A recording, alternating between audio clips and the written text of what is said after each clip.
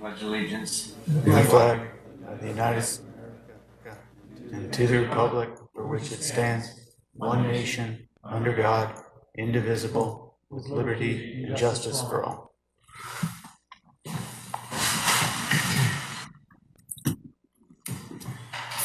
We have a roll call, please.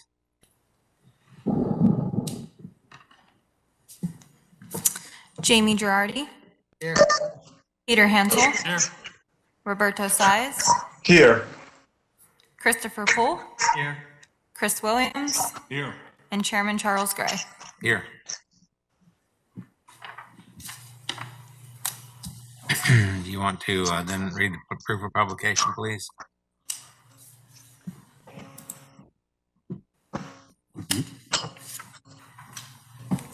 The items were published in the Tampa Bay Times on January 27th, 2021, February 3rd, 2021, February 17th, 2021, February 21st, 2020, 20, wow, 2021, and February 24th, 2021. All right, thank you very much. And I think we have minutes to approve. Do I hear a motion to approve the minutes of January 7th, February 4th, and February 18th? Jamie Gerard, so moved. Second, Chris Williams. We have a motion and a second. Any further discussion on the motion? All, all in favor of the motion signify by saying aye. Roll call. Jamie Girardi, Aye. Peter Hansel, Aye. Roberto Size, Aye. Christopher Poole, Aye. Chris Williams, Aye. And Chairman Charles Gray. Aye. Thank you. Okay, so for those uh, who have not attended the committee meeting before, uh, the Planning Commission is appointed by the Board of County Commissioners, and we meet twice monthly. We serve as a local planning agency, and we hold public hearings and transmit to the Board of County Commissioners recommendations on comprehensive plan amendments, land development code amendments, rezonings, and conditional use requests.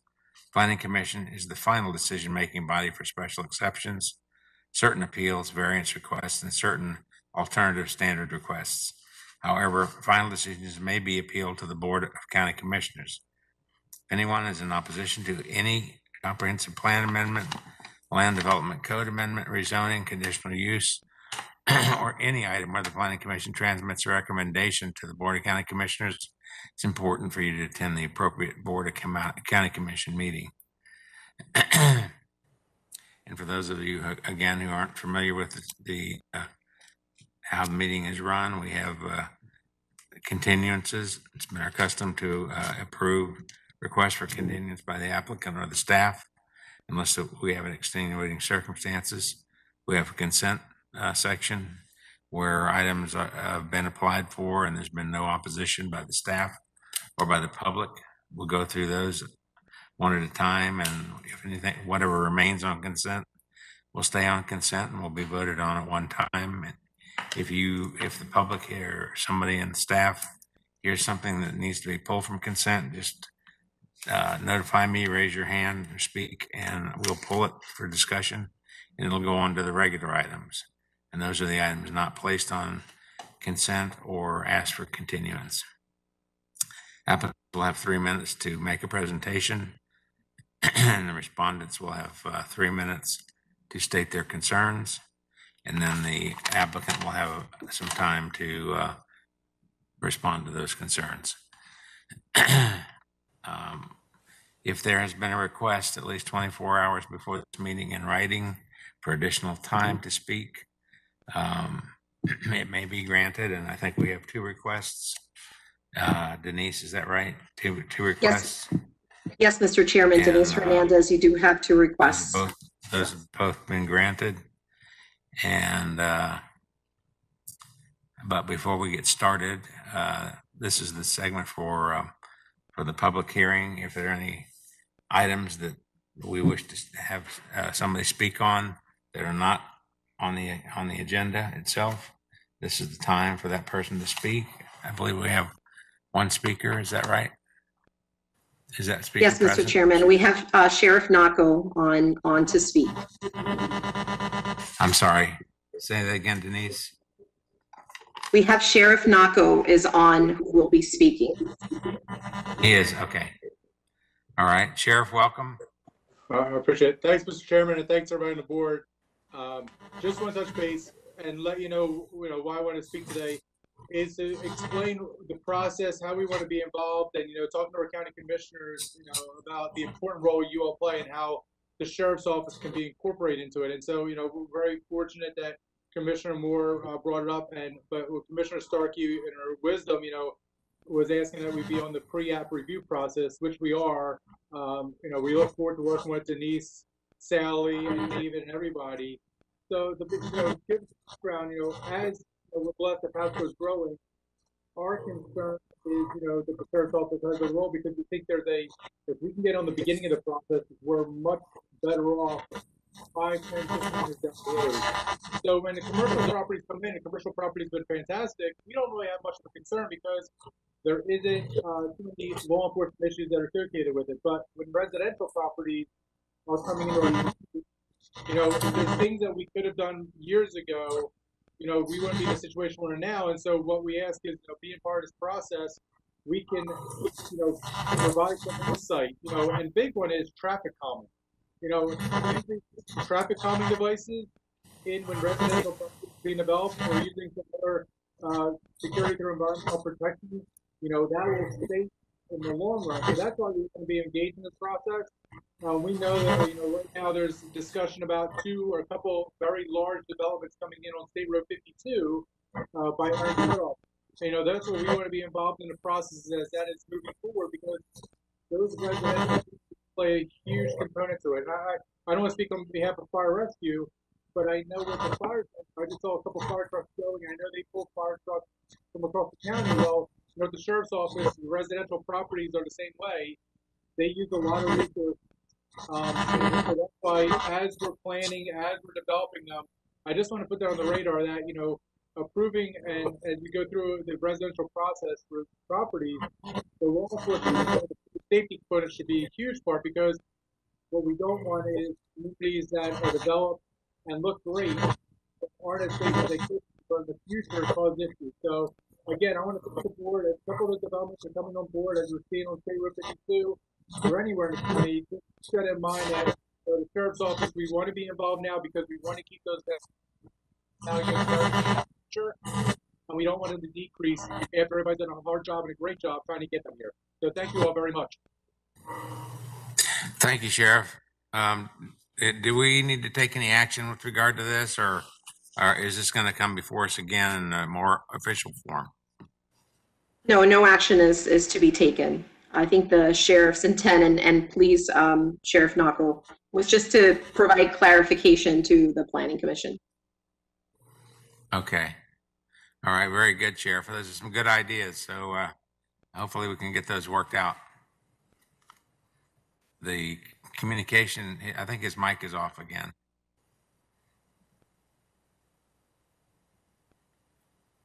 Sheriff, I think your mic is am I off. back? Can you hear me? Your mic was off. Can you, could you hear me Okay, now? Can you hear me? Now Yes, I hear can, you. yeah. It was like a commercial. Yeah. Uh, again, yes, exactly. Like you just heard, it's just for clarification. Yeah, I, there, you, your mic is breaking up, which is making it difficult for, uh, for us to hear Oh. everything you're saying. I think there's a conspiracy going on here. Oh, thank you. Thank you, Sheriff. Appreciate it. Thank you. Okay. Okay, we're good, I guess. We're, so, uh, anybody have any questions about that or concerns? No, okay. Well, Where are we with this process? I had heard that the uh, county commissioners had uh, tabled it for a short period of time. Has this moved forward? Process of bringing a deputy or a person from the sheriff's office on board to Denise, can you want to speak to that? sure, or David? absolutely, yes. I can, I can speak to that in the best of possibly, the best way I possibly can, and uh, perhaps my colleagues can jump in if that's okay.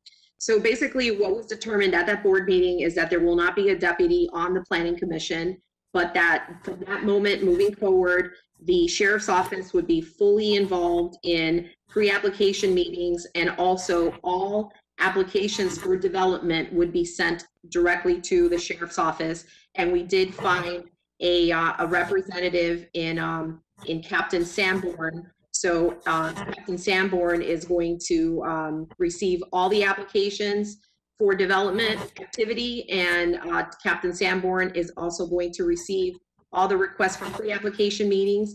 And what he would do in turn is that he would review them and do- do a triage and determine whether um, it is a application that the sheriff's office wants to sit through the pre-application meeting on. Okay, well, that's good. That'll, that'll be a good way to get them involved then. Great. That answer your question, Pete? Well, no, not really. Okay. I had, I had proposed this many years ago, this concept of having some of the sheriff's department, a law enforcement person on the board when we were the old board, not the current process we're in now. I, th- I personally think the idea has merit. We have a school board official here that we can turn to and ask him specific questions that are related to development within the community, with our, in the county, regarding schools. And I think having a law enforcement officer uh, has this very positive aspect because you turn to him and say, hey, look, there's going to be a housing development here.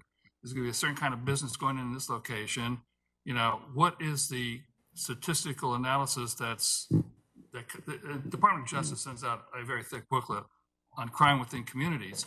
And based on the information that they have, that is the sheriff's office, based on information they get from the Department of Justice, they can feed us or guide us into a particular area. For instance, apartment complexes, which I, which I brought up some time back.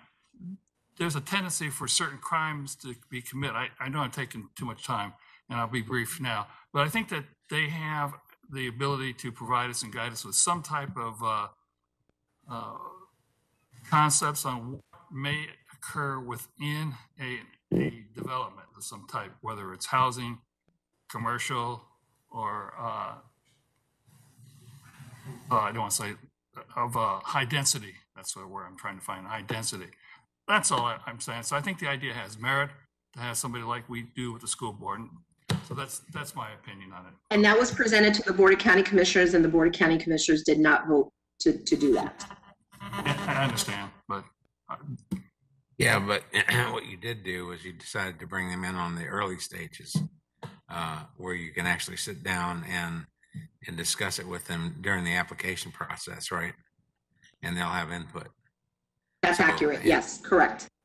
In some ways, they'd actually have more input using that method than they would if they were just on this board and didn't have any other involvement. So, you know, I think, uh, what your concerns are, Peter, I think are good ones, and I think maybe they are, have been addressed because they just did it a little different way. So, so, Thank you. But, uh, yeah, good questions, good questions. Thanks, Denise.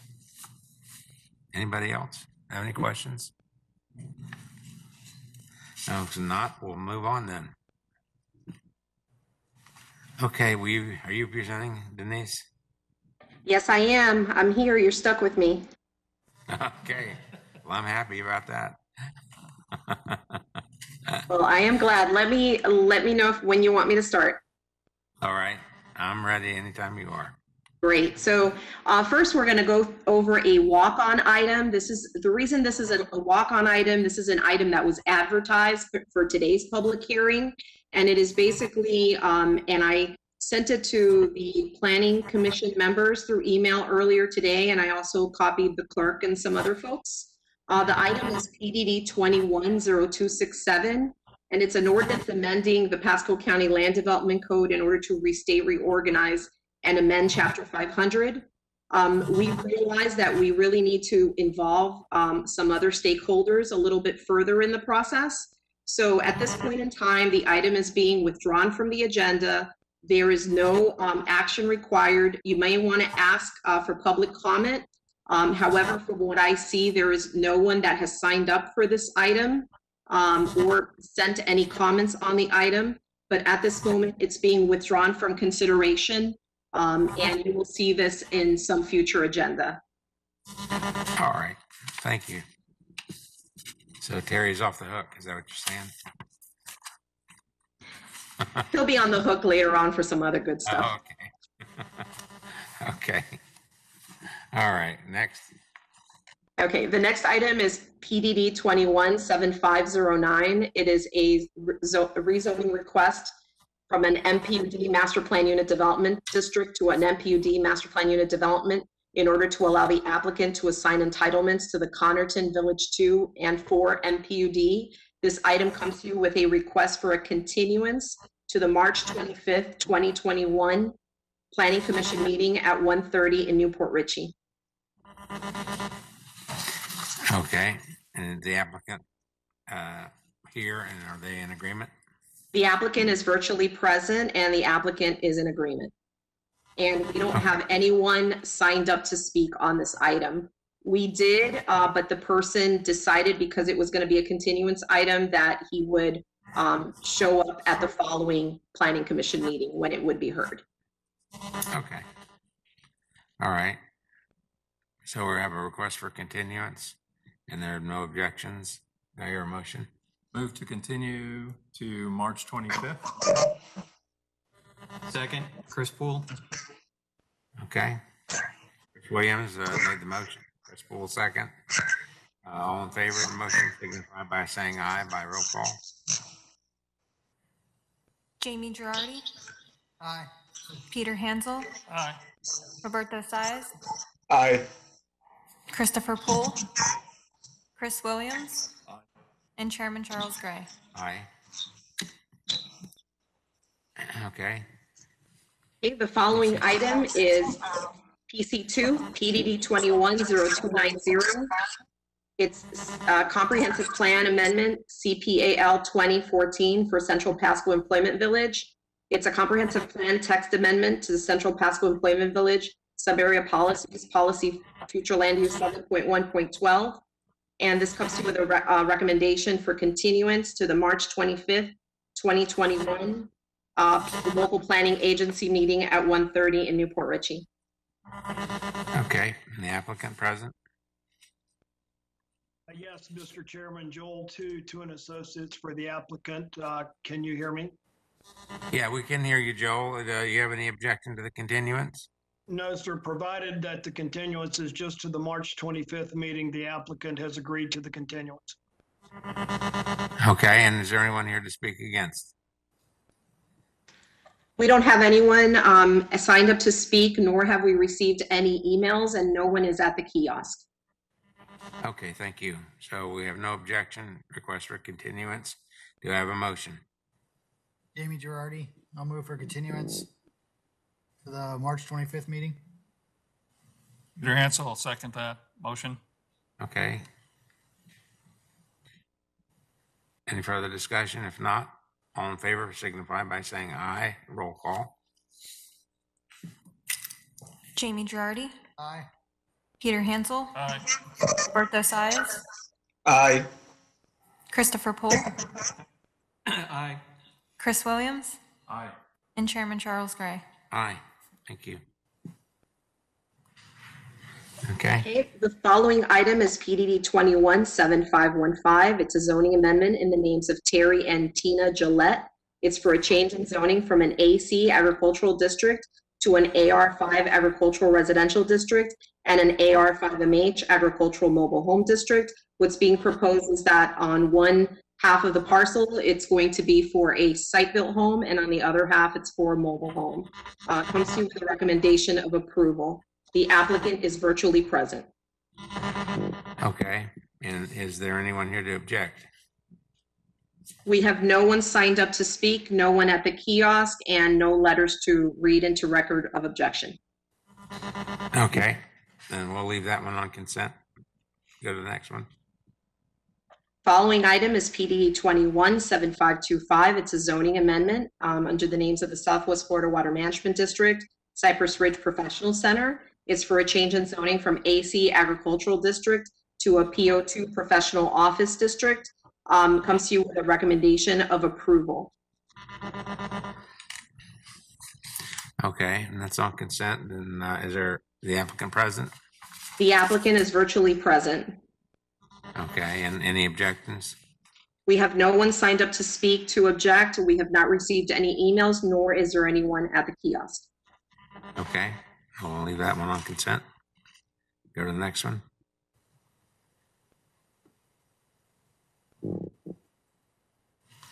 Go to- The following one, Mr. Chair, is PDD 217521. It's a zoning amendment in the name of Robert Wendell Pippin Jr.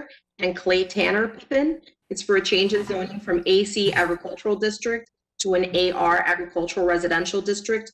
Comes to you with a recommendation of approval, and the applicant is virtually present. All right. And anyone here to object? We have no one signed up to speak um, on this item, nor have we received any emails, nor is there anyone at the kiosk. All right.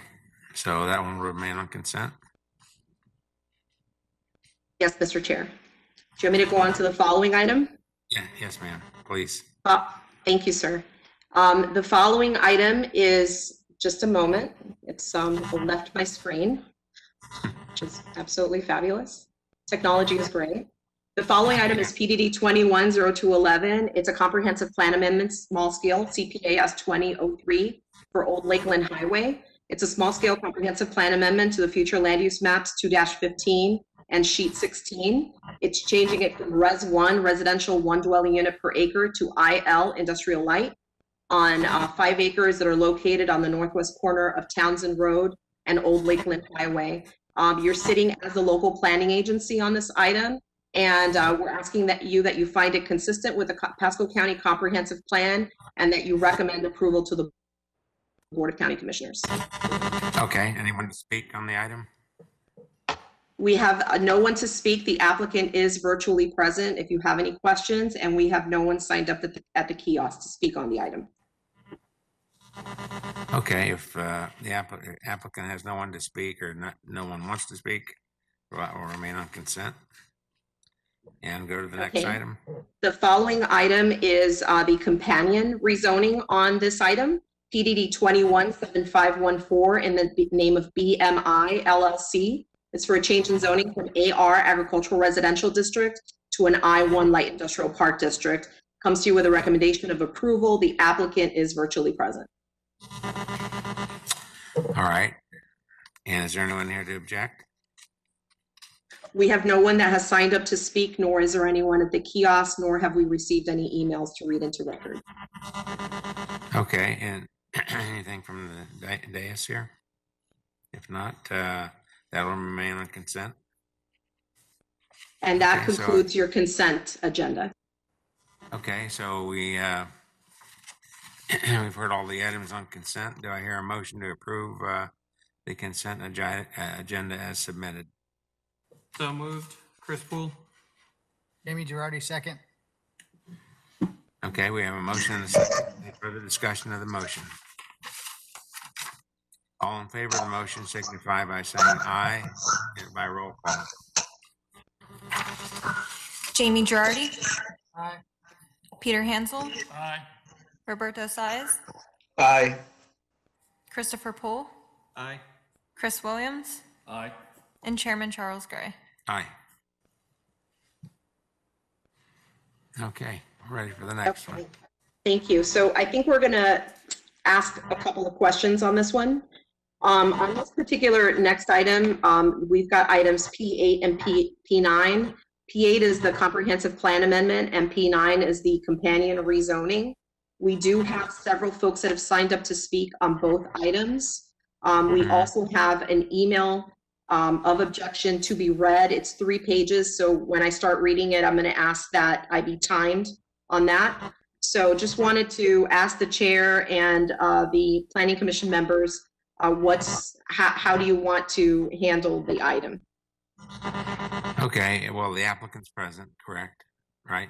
The applicant is virtually present. We do have uh, two objectors um, at at the uh, kiosk, as far as I can, I can tell. Um, I will double check for that as well.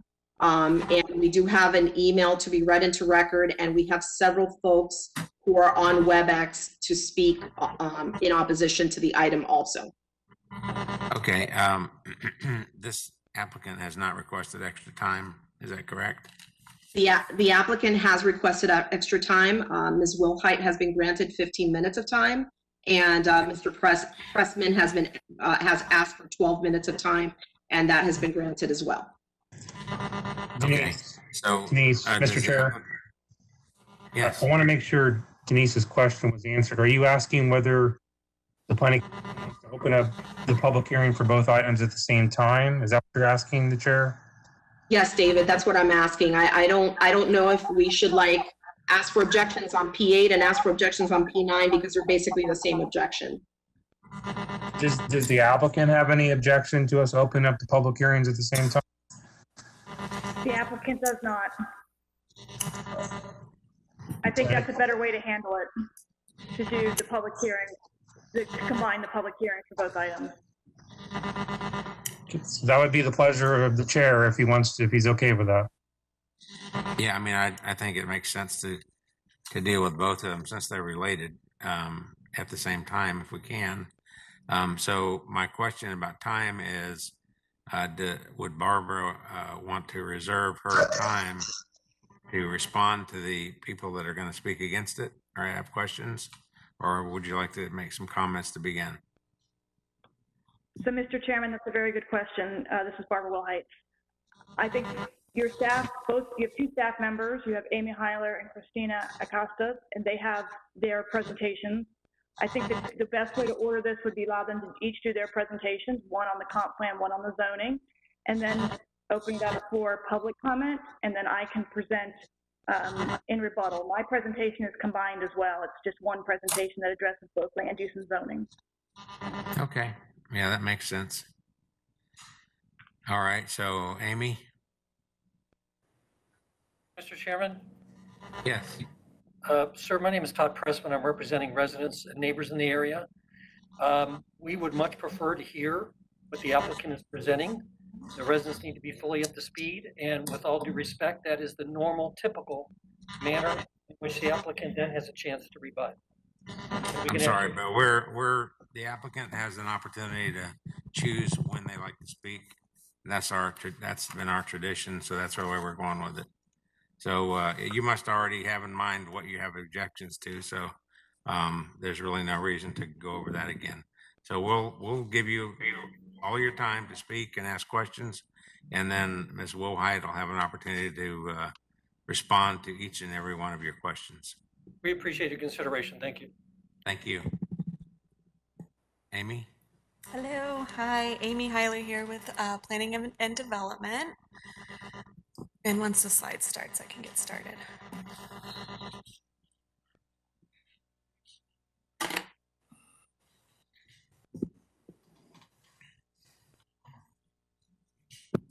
Who's following you, Amy? I didn't get the, What is it? who do they say was going to follow you? Christina Costa. Oh, Okay. Christina Costa. Okay, I was sharing my screen, so let me try again. I, I'm, I know there's a delay, but let me, let me try again.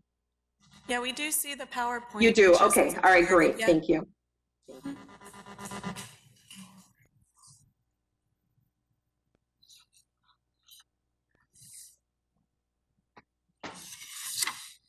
Do you have what you need, Amy, or you can't see the screen? I can see the slides, we can use this, but it hasn't like officially started, so it's just the normal PowerPoint program. Yeah, we're just seeing the cover sheet. Oh, okay, all right. Yeah, when you press that button on the bottom, it didn't pop up as the PowerPoint, so we're still looking at the slides. Sure.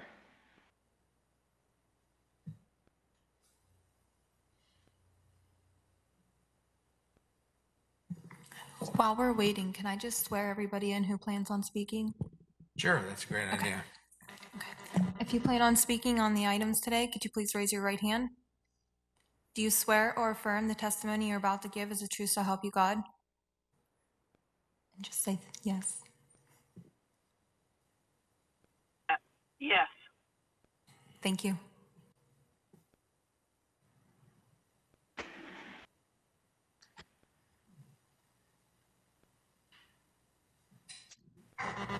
Okay, so it looks like you're seeing just individual slides for whatever reason. I'm not sure Yeah. why you're seeing it like that. Um, let me do, it just moves on to, can you see it now? Yes. Mm-hmm. Okay, fabulous. All right, so now I'm gonna probably have to go through the entire thing to get to where you need to be.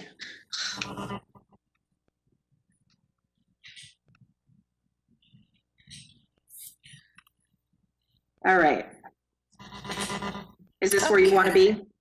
Yes, thank you very much. Um, okay, so item uh, P8 is going to be CPAS 2002 in the name of Meadowbrook. You can uh, slide.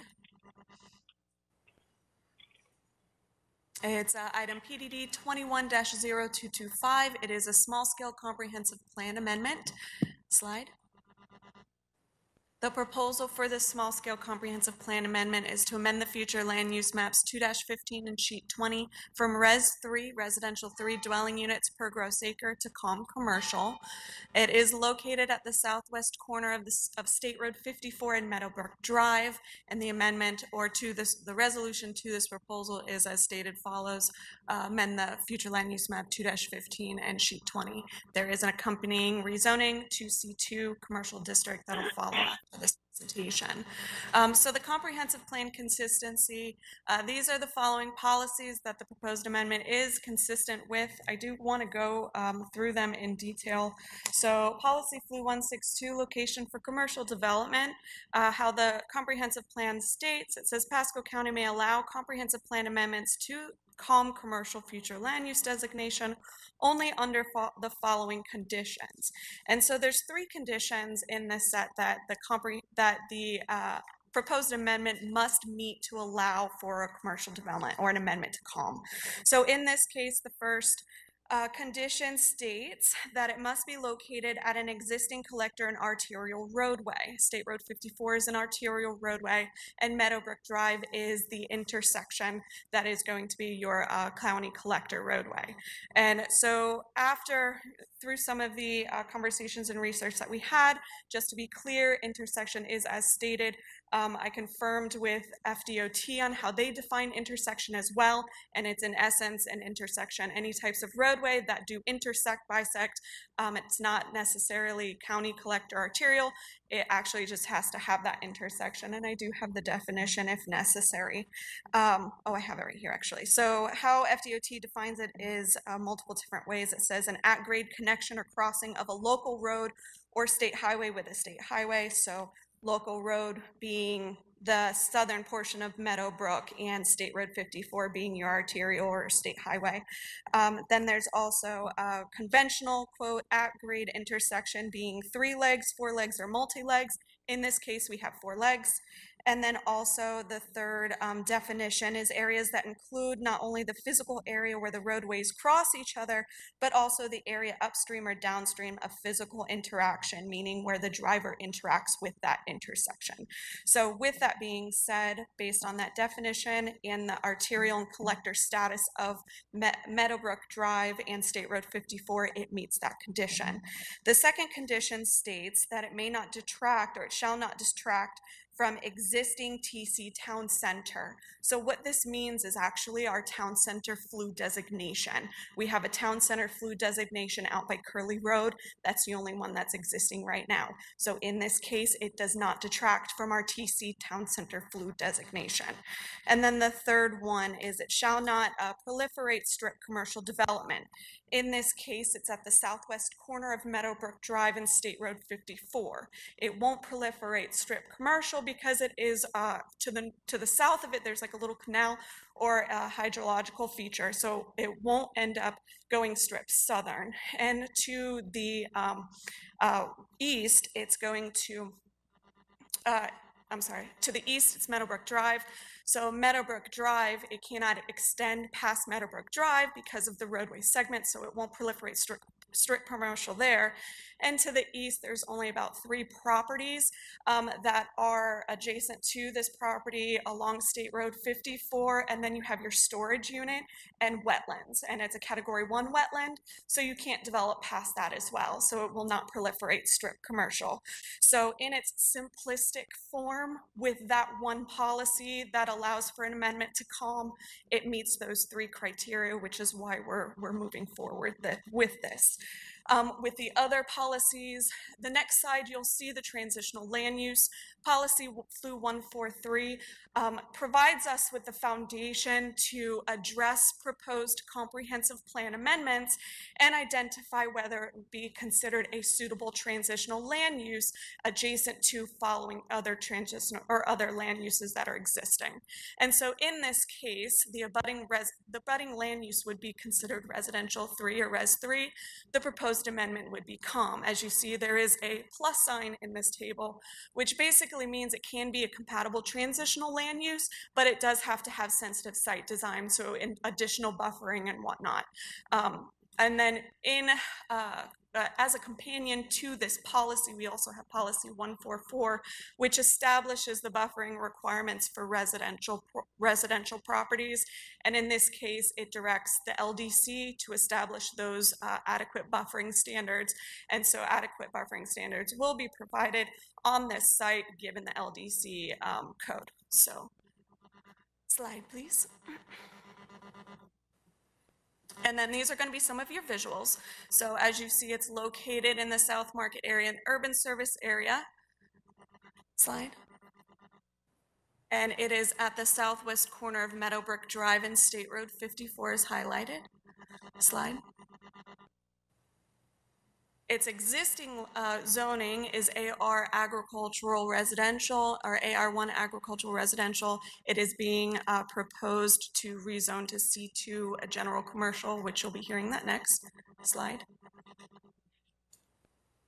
And the existing future land use, as you see, is Res 3, um, and the proposed amendment is to COM commercial.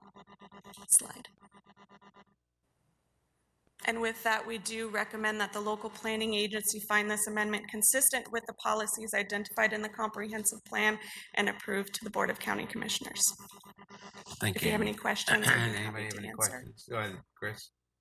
Amy, is the, uh, the, the two parcels immediately to the west, are those residences? Currently, one's a resident that's for sale, um, and then the one next to it is a resident that is active, and then the one right next to it is an office. It's already zoned PO1 office. Okay, thank you. The, and I have a question, Amy, that the thing that looks a little bit like a road, is that just an easement behind the property? The, the diagonal portion to the Diagonal, south, that's actually like your canal or, or Oh, hydrological that's what the feature that's canal there. is, Okay. Gotcha. Okay. Any other questions from anybody? And I guess not. Thank you, Amy. You're welcome. Okay, who do we have next?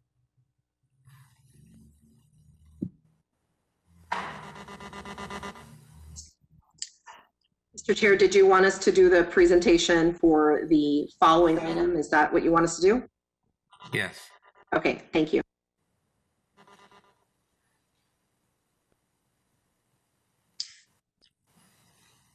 Good afternoon. This is Christina Acosta with Planning and Development, Current Planning.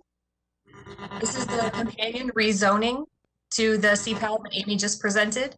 It's PDD 21-7516 in the name of Kiddie Campus University, Inc. The request is for change in zoning from AR1 Agricultural Residential District to a C2 General Commercial District. Property is located on the southwest corner of the intersection of State Road 54 and Meadowbrook Drive. The site is currently undeveloped and contains approximately 1.67 acres. The applicant proposes to develop the site in conformance with the C2 General Commercial District standards for development. The site has been reviewed by the Long Range Planning Division and was found to meet the location criteria of Comprehensive Plan Policy Flu 1.6.2 for commercial development because of its location at an intersection of an existing arterial roadway, State Road 54, and an existing collector roadway, Meadowbrook Drive. Uh, Comprehensive Plan Exhibit 2-2, Traditional Land Uses, General Guidelines, states that the commercial uses are appropriate near residential areas with special consideration to buffering and screening. Pursuant to Flu 1.4.4, residential compatibility, buffering standards between residential and non-residential land uses. At the time of site plan review, the site will be subject to additional screening and buffering conditions exceeding the minimum requirements of the Land Development Code. On March 23rd, uh, 2021, the Board of County Commissioners will consider Comprehensive Plan Amendment CPAS 2002, amending the future land use of the subject site from Res 3, uh, residential 3 dwelling units per acre, to COM commercial. If the subject zoning is approved, it shall not take effect until the companion CPAS is adopted by the BCC and the appeal period has ended. And this is just a visual showing the surrounding zoning. Um, it is, all the adjacent neighbors are, are uh, zoned AR1. And then on the north side of State Road 54, you have an MPUD, which is um, entitled for a multifamily development. And then two lots to the west, you have a prof- professional office. And as Amy pointed out, there is a, hi- a, uh, a water feature, a canal located adjacent to the south of the property.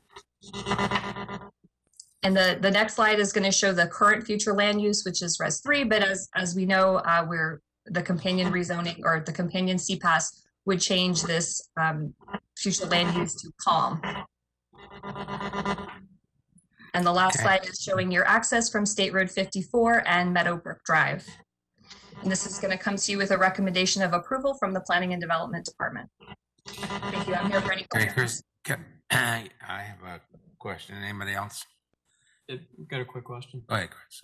So Christine, could you speak to the buffering requirements that you mentioned a little bit? That was a my little bit More detail for the residential properties? So the, the additional buffering requirements would be at the consideration of the, uh, the person who's charged with reviewing the site plan. So we, we don't have a site plan at this time, so we, we can't put, and it's also a Euclidean rezoning, so we can't put any specific, uh, conditions on there. But they, they would be required to do whatever the, uh, the site reviewer felt was appropriate for the site based on the adjacent residential neighbors. Okay, and is that, that, is that handled at a public heating, meeting, or is that, is that a, a conference, you know, separate conference? That, those decisions? The site plan review would not come to the planning commission or the board. Okay. Can you go back to that intersection photo, please? You had a photo of the intersection. Like the last one you had up. Is that a, that's a four-way intersection I can see. Is there a signal light there? There is a signal. Thank you. Okay. Christine, I I guess going back to the buffering, I mean, isn't, isn't the buffering outlined in the land development code under section? Yes, there is buffering out, outlined in the land development code, but uh, based on the uh, compatibility requirements of the flu, it would be subject to additional buffering at the discretion of the, of the site plan reviewer. So I can tell you what the minimum requirements would be. They would be over and above that. And as we saw to the south, there's, um, there's the, the natural water buffering as well.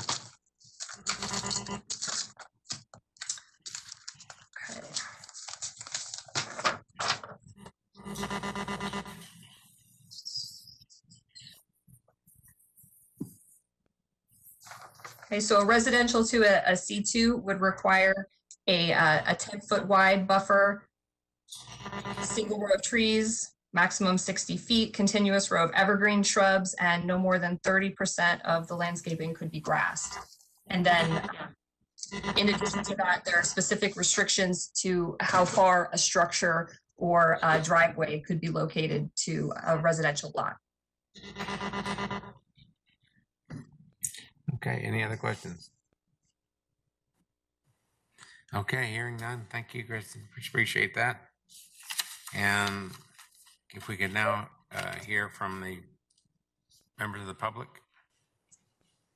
Mr. Chair, how would you like to handle this? Um, I, we do have a letter to be read into record. Do you want to start with that or how, how would you like to, um, approach that? Yeah, we could start with, we could start with that. Um, So we need to let you know when three minutes is up. correct? Yes, um, let me first start by saying, if you want me to read the letter, um, let me just first start, it- state who it's from, and then we can start the, um, the clock, if that's all right. Okay, thank you. Okay, so um, the letter I'm going to be reading into record is from a gentleman by the name of W. Douglas Grant.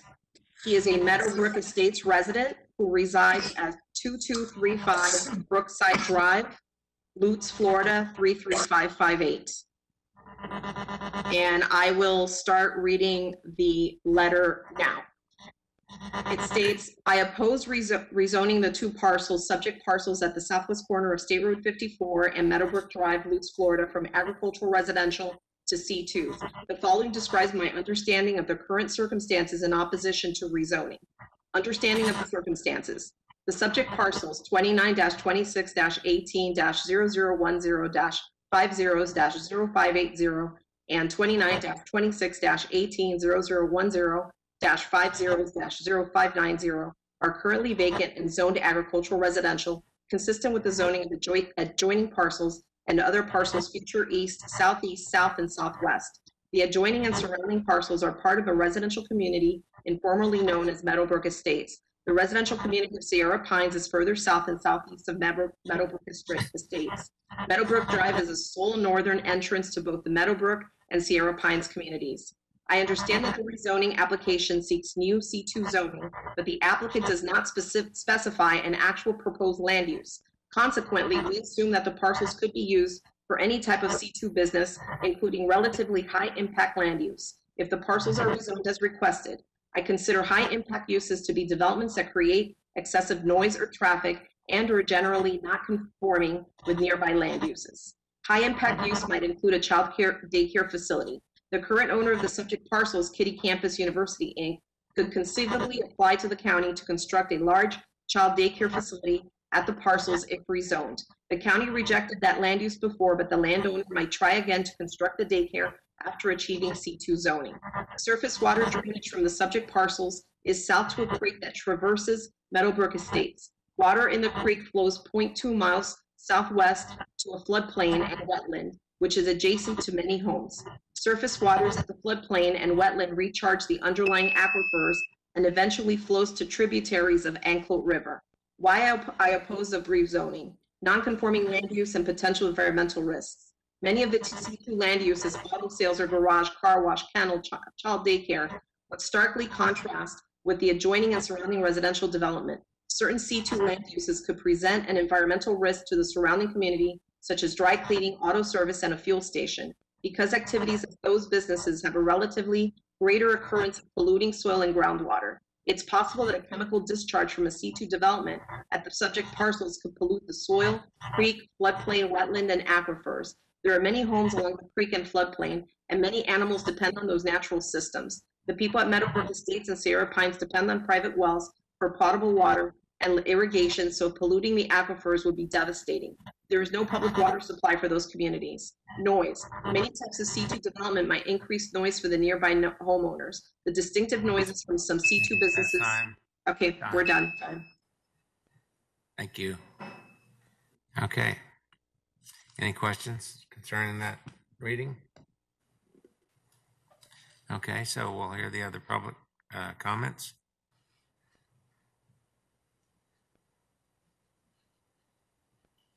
Afternoon, Mr. Chairman, board members. I mean, my name is Todd Pressman. I'm here representing uh, Sierra Pines, Meadowbrook Estate.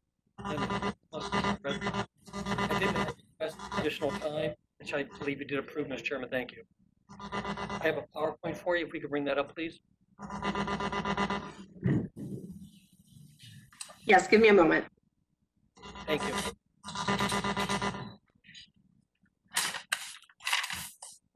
Just, just so you'll know, we're, we're having a little bit of, uh, or at least I am, having a little bit of difficulty hearing you be- with that mask on, so. Oh. You can choose to leave it on or take it off. But, um, it's just, we're having a struggle here to hear what you're saying. Thank you, Mr. Chairman. So again, my name is Todd Pressman, 202nd Avenue South in St. Pete, Florida. I'm here representing, is working with the Sierra Pines community, the Meadowbrook Estates community, and many other nearby residents. Mr. Chairman, let me say to you and board members, uh, and I did, did indicate, Mr. Chairman, that I had extended time, I believe 10 minutes. Thank you. This zoning application will be devastating to this community. It will literally destroy this community. Considering a C2 zoning, which has been filed by the uh, Kiddie organization, but as you all well know, C2 includes many intensive uses. So if we could go to my PowerPoint, please. Thank you. Uh, you're familiar with the site on State Road 40. Next slide, please.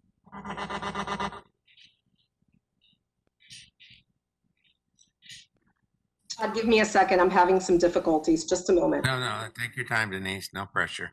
Thank you.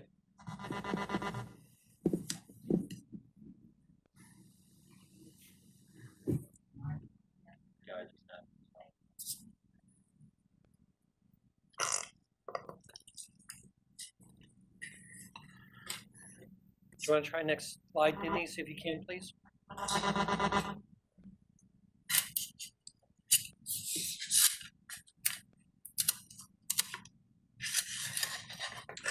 Are you seeing the slide that says, that says site? Is that, is that not the slide you're seeing? I'm seeing, yes, I'm seeing if we can move on to the next one, please. Okay.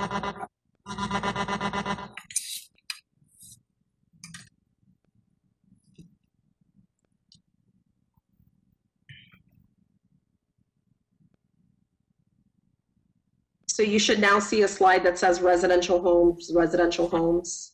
Is that what you're seeing? No, no, it's the same slide, unfortunately. Okay, a little closer view of the site, that, that's fine, we can stop there. So to drive this point home, the site is indicated in yellow is surrounded by residential homes. Next slide, please. And as the report notes, zoning is primarily AR1, which is low density. Next slide, please. Future land use category is primary res three. You can see the entire area is res three is residential. Next slide, please. The zoning staff notes the surrounding area is characterized as residential development. That's very clear. Next slide. please. R3, the residential, the intent of R3 is to recognize those areas suited for single-family detached residential development, which this entire area is. Next slide, please. Let's talk about past land use activity, which has not been raised. Next slide, please. A request came through for this property for a daycare and preschool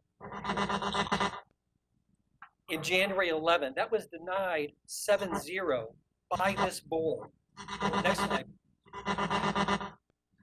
The same request came through one year later for daycare and preschool, and that was denied. So, Mr. Chairman, board members, this board, some of you may have been members at that time, this property was denied for a use that is far less impacting than what you're considering today. Mr. Chairman, board members, this request could allow a gas station operating on this property in this residential area. That would be nothing less than devastating to this community and this residential area. Next slide, please. Let's look at impacts. Next slide, please. Be aware that this is the Meadowbrooks Estates plat. This location, both of these parcels, is inside and part of this plat and part of the subdivision. Next slide. Access is right in, right out on State Road 40, but they will have, they're proposing a full access on Meadowbrook Drive. And there's their submittal notes, the study assumes a reasonable access plan of a right-in only State Road 54 and full access on Meadowbrook. That would be a tremendous infusion and impact of vehicles involved with all C2 activities. Next slide, please. Policy land use 1.6.4 neighborhood commercial uses shall permit small-scale neighborhood commercials only in areas permitted for commercial development. Noted number two, new neighborhood commercial uses shall not be located internally within existing single-family neighborhoods. And this commercial zoning proposed is located internal. Next slide, please. Per their own numbers, they're looking at almost 2,500 daily trips, 165 in the peak hour AM and 208 in the PM, coming in both, uh, involved with both those access points. Next slide, please. Problematic uses involved, I told you already, is gasoline station. I believe that would include car washing, automobile washing, body and painting, barbecue stands, amusement facilities, contractor's office, dancing halls. Next slide, please. A long list of really problematic, upsetting, impacting, and uses that will destroy slide, please. Next slide, please. We hired uh, Patricia Ortiz. Um, that report is in your files. We submitted it early, along with her resume. We had her look at this request. She is an AICP planner, and she made some conclusions for us, which we want you to know. Number one is that the zoning designation, the long established residential neighborhood character, make these subdivisions unique. These plats were created in the early 1970s while most of the surrounding development occurred in the late 1990s, early 2000. Next slide, please.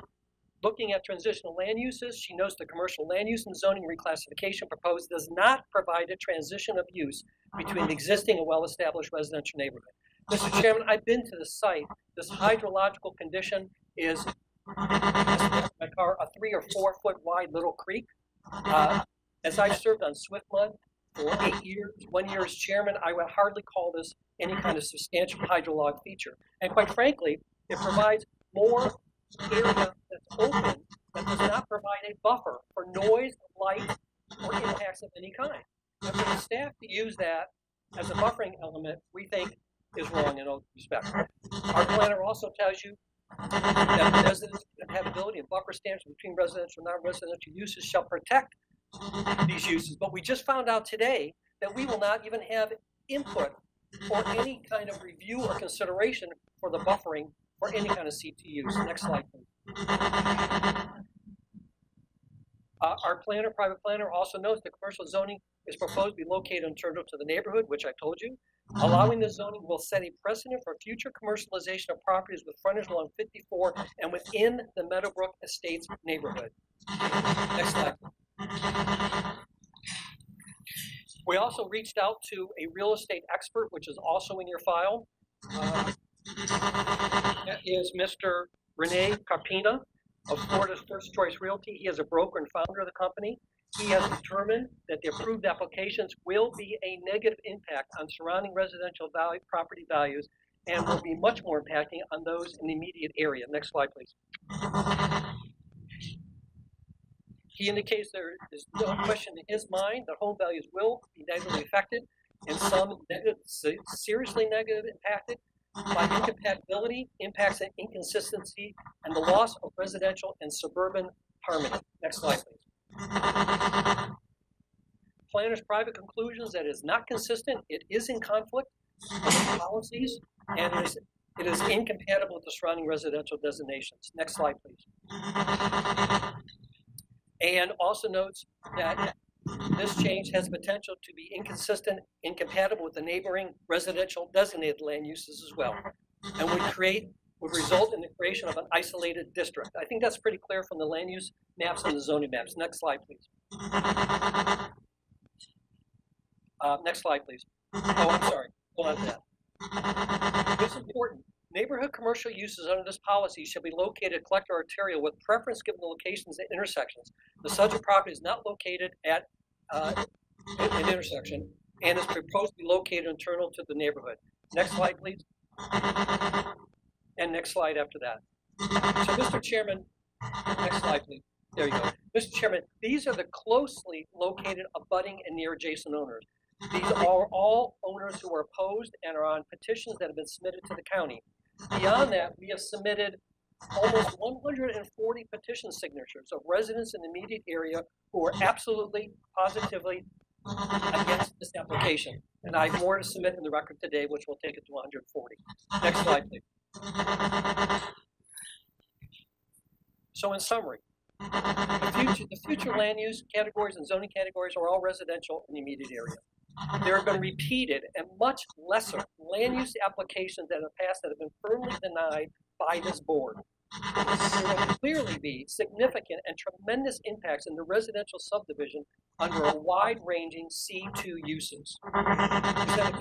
Policies and planners, private planners, conclusions of incompatibility and inconsistency, and there's tremendous neighborhood opposition. And I'd like to mention, Mr. Chairman, board members, it was very, very difficult for residents to be involved with this hearing today, to be involved virtually, or to be out here today. There was confusion where people were to go and how to sign up. But luckily, we were able to get that in writing for you. We appreciate your uh, allowance to go a little bit longer on this request, and we're happy to answer any questions you might have. Thank you, sir. Thank you. Uh, so before you step away, are there any questions from the dais? Or, or anybody on, uh, on the web? Mr. Pressman, I have one question. I think in your presentation, you made a comment or there was a point made in your presentation that said this property is not located at the intersection of a collector and an, ar- and an arterial? I, Is I that- think that was an error, that was an error, sir, I'm sorry. Okay. Yeah. That was an error. Okay, anybody else? Roberto, anything from you? No, sir. Okay, No. all right. Do we have Thank you. any, who's next to speak? Thank you very much. State your name and address for the record. My name's Nadine Ferguson. I'm at 17550. Oh, sorry. My earring's caught. So sorry. My name is Nadine Ferguson. I'm at 17550 Cedarwood Loop, Lutz, Florida, 33558. I'm going to just speak to, since Mr. Pressman covered, I think, all the legal reasons this is completely wrong. I will speak as a resident and the impact to my life. Um, I don't think you all can understand by looking at the aerial shots and the pictures how very small Meadowbrook Drive is. It represents the only in and out for many of us into that neighborhood. And I will say that this board before, when we came before them looking for help with flooding issues, traffic issues, we were told it's not a county maintained road. We did privately pay that. I paid for that. So I do not know how then we can call this a public road all of a sudden when businesses want to access it. Now, the buyers of those properties, I welcome them to our neighborhood, but you bought that as is. It was bought as agricultural, it's still agricultural. You should not have expected to be able to drop this in essentially what is my driveway. And I will say this again, gentlemen, that road is about the size of a large driveway. I wish you could really see it. Um, The that they're talking about, the stream, I have hopped over it. It's that small. It is not a stream, it's not a big buffer. It is a small little dribble of water that goes across the street that occasionally floods our area. I want to just say, imagine if I drop this in your driveway, even if it's to the side. Imagine the traffic that's going to block up your single lane access in and out of your house, because that's what you'd be doing to me. So I ask you to please represent my community in this sense and do not approve these changes. That's all I have. Okay, thank you. Uh, Before you step away, any questions? Any Questions? M- Mr. Chair, Roberto, anything? M- I have a question for staff, Mr. Chair. Let me ask you one question. I'm sorry, I should have asked you when you stepped up there. Have you been sworn? Yes, sir. Okay, thank you. What was it, David? Um, on the issue of the maintenance of that roadway, um, the agenda memo says that it's a county maintained residential road. I just- I just want to make sure that, I'm asking staff whether that's, maintain that road. whether, whether that's accurate, given the representation that was just made. I'm asking staff the question, not, not to speak. Could the staff respond to that, please? Hello, this is Stacy Burgess. From my understanding, it is uh, maintained. I'm looking at Pasco Mapper right now, and it's saying that it's a road maintained by Pasco County. All right, well, we have a conflict of information here, uh, state, or so are we sure that that's a county maintained road or is, are we just, right now, we're supposing or we're sure? Well, I'm wondering if it's just, if it's maintained only for a certain distance, and maybe that's the source of the confusion. Do we know, I guess I'll ask Stacy, how far do we maintain the roadway?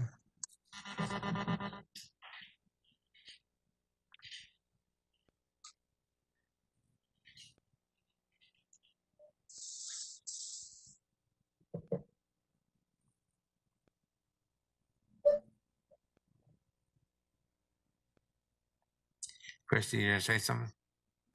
Yeah, I just, I believe that the answer to that question will have to come from project management. So, and they're not on the line. So that, that's something that we'll have to research and have ready before the board. I, I don't think beyond what we can see on, on Mapper, we can know uh, exactly at what point the county stops maintaining it. And, and David's probably correct that that's the case.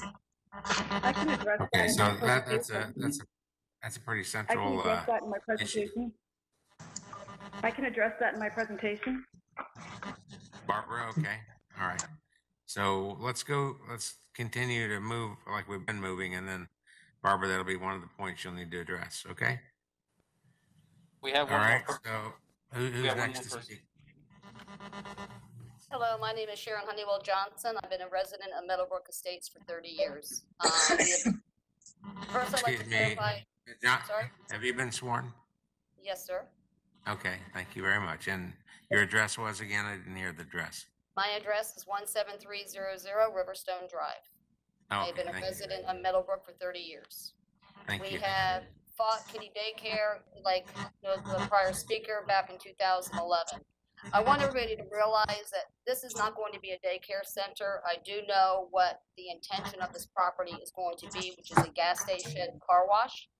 The exit for this development is going to be on Meadowbrook Drive. And nobody, I think, has addressed that to, to the board. The entrance will be off of State Road fifty-four, but you will have an additional entrance and exit off of State Road, uh, off of Meadowbrook Drive. It is a single lane in, a single lane out. We have traffic backups now. We cannot even imagine allowing commercial use coming into there with the exit coming onto our little residential road. Which we, for the most part, maintain that road. The county maintains the first, I think, fifteen feet or when you first come in. But after that, we have called and complained about flooding, but they say it's not their, their job to maintain our, our neighborhood. Um, I also, the, I know that the notice that is posted currently, they never changed the date out there. You have James that lives directly behind this parcel that drove all the way out to Land Lakes Boulevard because it still has the February eighteenth date on it. We were all notified of the change of the date, but they never sent out a letter to this gentleman. He never received a letter, and he is adjacent to this property, which I thought was also a requirement for the petitioner to also do, which has not been done. We, we, our neighborhood has been fighting for the last ten years, to keep this residential. We cannot have any more traffic coming in and out at this intersection. We will not be able to get out. Thank you. Thank you very much. Uh, next, That is all at the kiosk, sir. okay, that's everyone? Okay. All right, Barbara, I guess you're up. There may be people online, sir. There are speakers, yes, there are Oh, speakers okay. online. All right. Who's first online? Um, I do see for this item, I do see Wanda Neal. Wanda Neal, is that what you said? Yes, Okay.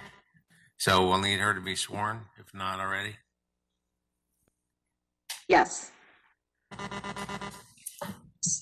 So Ms. Neal, if you can hear us, um, would you please, um, state your name and address for the record and the clerk will swear you in.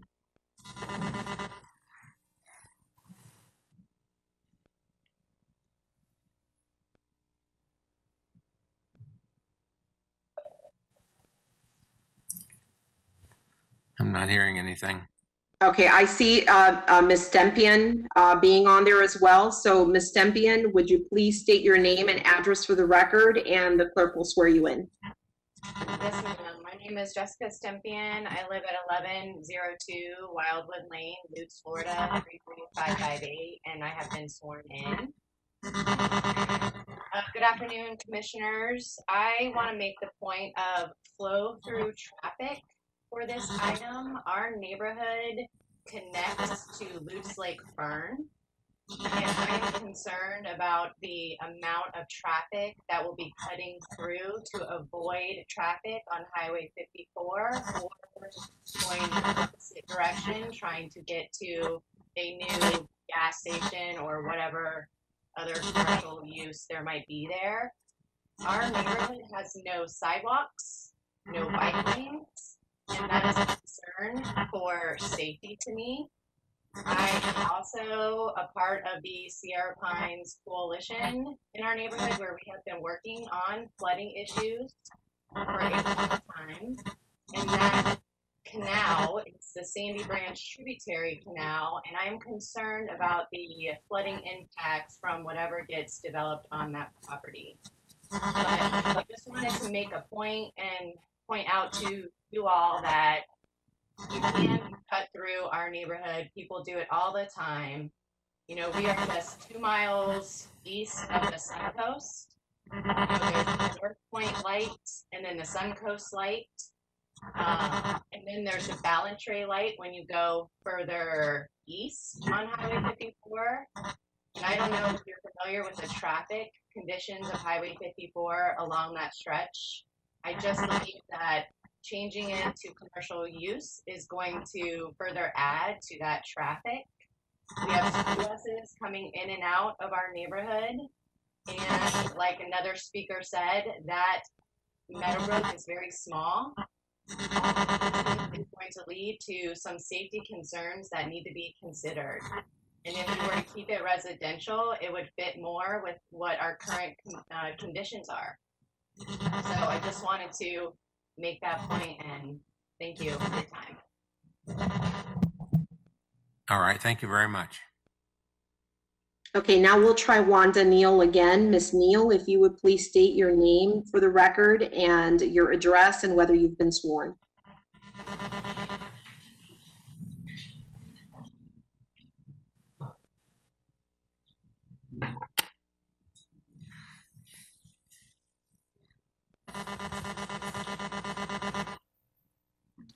Okay, so we'll try then uh, Jennifer Robertson. Miss Robertson, if you would please state your name and address for the record and whether you've been sworn.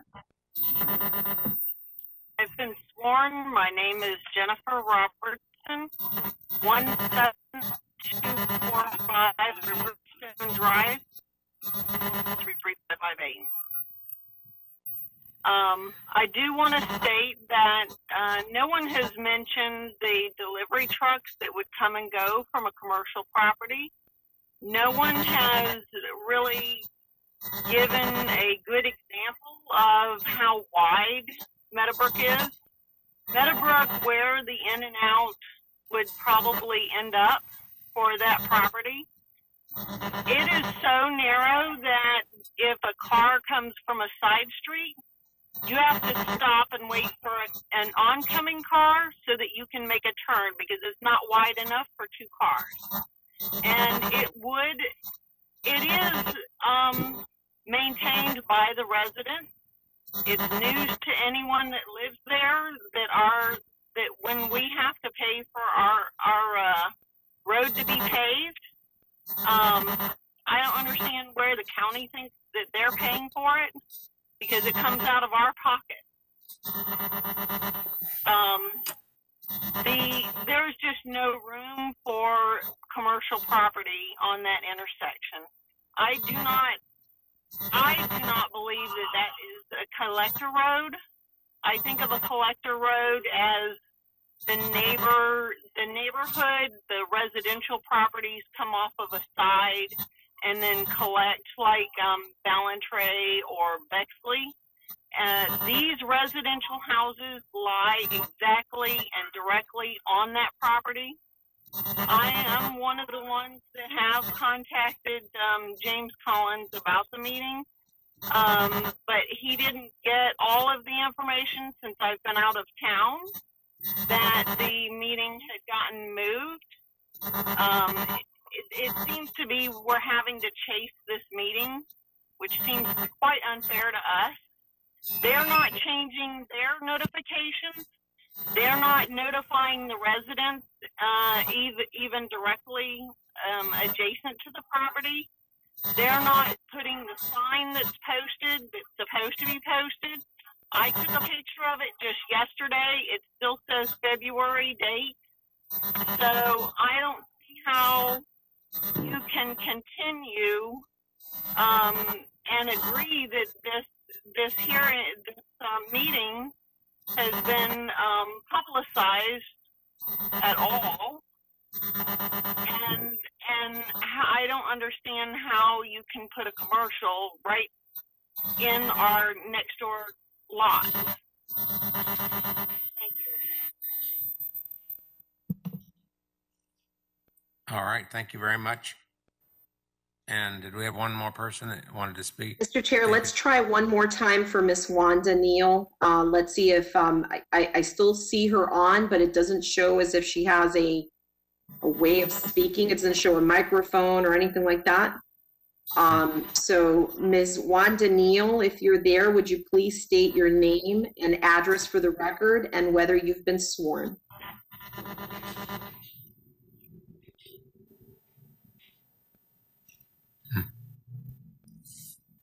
Let's try this again. We do have a call-in number and we've just unmuted that person just in case it's Ms. Neal. Ms. Neal, would you please state your name and address for the record and whether you've been sworn?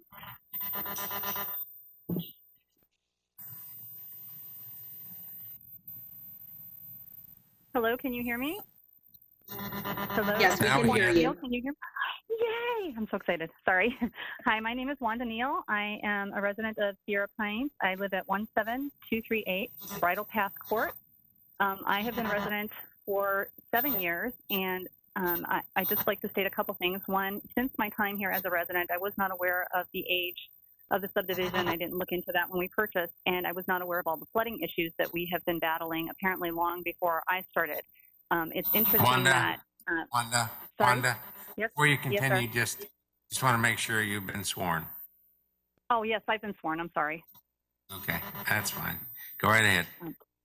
Sure. Um, there have been numerous attempts, and, and as Jessica stated, Jessica Stempian stated, there has been a coalition that has been formed to try to help alleviate a lot of these issues, which she has been a big part of. And I thank you for those of you who have participated in helping us alleviate these issues.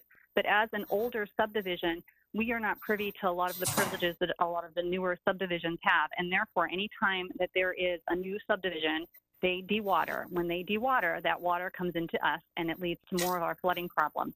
Um, I've done some research about potential um, uses. For example, if that were a gas station, there has been a study by Johns Hopkins University that shows that even the little drips um, that people, you know, when you go to shake off the gas from your when you're pumping gas, those little drips seep into the concrete, and that and those little drips accumulate.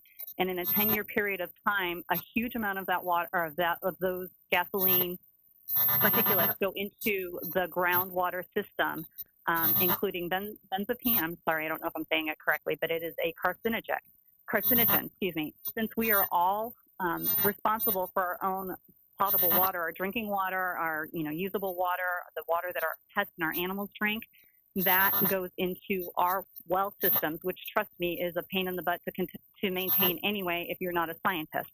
Secondly, um, I heard mention about the roadways, and as the other speakers have stated, um, it is a very narrow roadway. In fact, many times when they opened up um, construction behind um, the, uh, the area north of us, I'm sorry, it would be to the east of us, um, where the little restaurants are. There have been trucks that have made a wrong turn and come into our subdivision and have had a very difficult time finding a way to turn around because there are narrow and small roads. Third, um, there are no other exits onto 54 for our entire subdivision, which is a pretty big subdivision. We only have that one exit. It's a, a single, you know, two-lane road, like right and left. Um, and there, and it just it recently was expanded to include the traffic light and a turning lane at the traffic light at 54. The other exit to our property is actually at the back of the property, and I think Je- Jessica mentioned that. That is on Hillsborough County Road. It's a Hillsborough County property um, zoning area, so they get no Pasco County taxes, and so therefore they do not maintain that road whatsoever. In fact, people come in off and dump, and it's our residents that are cleaning up that road. They do not maintain, there's potholes and all sorts of things. The only reason that they are allowing us to maintain that or keep that road open is because we have um, agreed to maintain it because it is the only exit way out of our subdivision. So God forbid there's a flood or a, an emergency or a fire or the roads are blocked. We have no other alternative unless we try to fly away. So those are three main reasons I would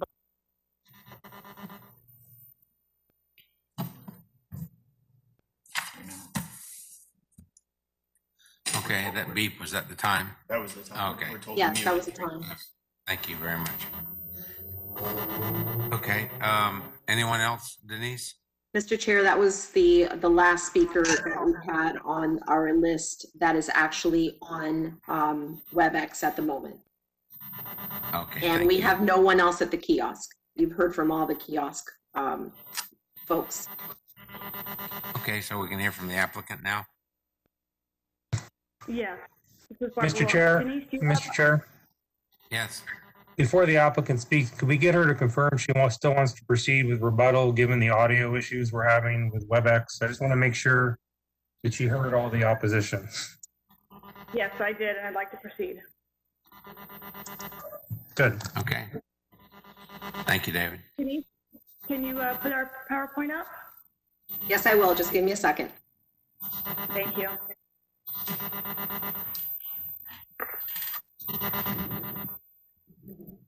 As Denise is putting that up, there's some, I can address um, comments, um, questions that are, I don't necessarily have a slide for, so I can start with that. We did follow all the county's notice requirements. Um, the notices that are sent out were sent out as required by the county. The notices specifically state that times, um, meeting dates can change, and so the, um, responsibility is to contact the county or myself, because I sign the letters with my, uh, phone number and email on them, or you can, obviously, they can check the website and see that it's been continued as well. We, as far as um, flooding goes, we would be happy to meet with the residents, um, the county and our engineer and the residents. Um, design has not started on this parcel, which would make it a perfect time to share information. So um, we would offer to do that. We've done that in the past successfully. Um, if we just focus on flooding and concerns about flooding, it can be productive. As far as the transportation State, um, Meadowbrook Drive from State Road 54 to Rainbow Lane, which is south of these parcels, is county maintained, 60 feet of right of way. I think the confusion that you hear is because just because it's a county maintained road doesn't mean that, that the residents don't get assessed, assessed for improving it. So maybe they were assessed before for paving, uh, paving improvements. I think that's all over the news right now, Better Call Behnken, about that procedure. So I think that gets confusion when, when, when residents are having to pay paving assessments but that happens on county maintained roads. But all the records, I don't think there's any confusion, the records are is county maintained. We went through a substandard road review um, in connection with this application, and staff looked at and determined that, um, that the segment that our uh, project would use of Meadowbrook is standard. And as it's been pointed out to you, the, that intersection is signalized. There's a left turn lane, a dedicated left turn lane um, as well as um, right turn lane uh, coming from Meadowbrook going north to State Road 54. We also went through timing and phasing review uh, in connection with this application, which deals with the capacity of these roads and intersections to handle the project traffic. And at the time of at the time of site plan construction plan review, we have to go through the third review, which is the ge- geometry of practice management. So we will be going through that review. Um, Thank you, Denise. If you can put up the next slide.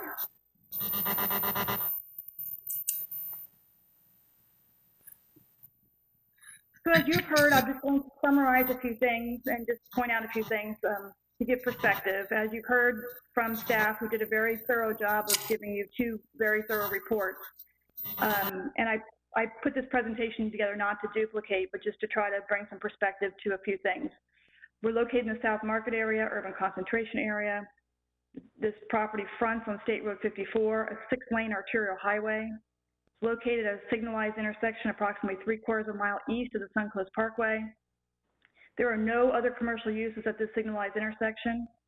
This is clearly an underutilization of the county's and FDOT's investments in infrastructure at this location. This is a six-lane arterial roadway, signalized intersection, at an intersection with collector road, which has not been disputed now.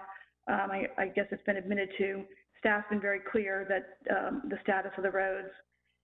Um, I think the neighbors clear that they're object to any use but residential. This is absolutely not the place for a residential use. I also want to point out, think, thinking about it, that if you do not place commercial uses at signalized intersections, then you put pressure on unsignalized intersections to become signalized. So totally uh, a waste of a signalized intersection if you're not locating your not your commercial uses at that location. The property is currently zoned AR1. Oh, I got a typo there, excuse me. Um, an AR1, you can read what the description of that is. The important part of that is it talks about curtailing urban development in areas which lack facilities until such time as those facilities are available. So even the very zoning district that's on this property, that's been sitting on this property, recognizes that there's a, a change in circumstances when infrastructure is invested in by the government. Water and sewer is, is right at this location. And as I've explained, you know, what type of roadway we're talking about and what kind of intersection we're talking about. conditions have changed and all facilities are at this location. And so I just, you have multiple uh, rezoning considerations. They're not criteria, they're considerations, but I put a couple of them there um, as to what you would consider uh, 4 and 13 relative to um, those considerations. Next slide. What's kind of unique about this comprehensive plan amendment that I don't get to come before you and say very often is that there's a clear policy direction from the board adopted into the comprehensive plan that specifically directs where they want commercial land uses. This application strictly complies with that direction. The board weighs out the policy decisions of what should go where and prioritizing land uses. And they specifically said this is a location, or when you meet this criteria, that this would be a location where we want to see um, commercial. Not only want to see it, you only can do commercial in these locations. So it's a, it's a very interesting policy um, that has lots of specificity to it. There's three criteria. Staff has gone through it um, with you, the A, B, and C, and we meet all three of those um, criteria, and it has not been disputed. That policy 1.6.2 has not been was not disputed in Mr. Pressman's presentation. Um, there is policy 1.6.4 that has been cited. I know Mr. Pitos is on the line, and he certainly can explain. Uh, we're complying with 1.6.2. Um, we do not have to comply with 1.6.4 because we're complying with 1.6.2. The subject property is the location for C2 uses, and that I, I did the rezoning considerations that uh, relate to that. C2 is clearly consistent with COM land use. I think I've said this to the Planning Commission before. When you look at consistency, COM, C2, you know, they go together.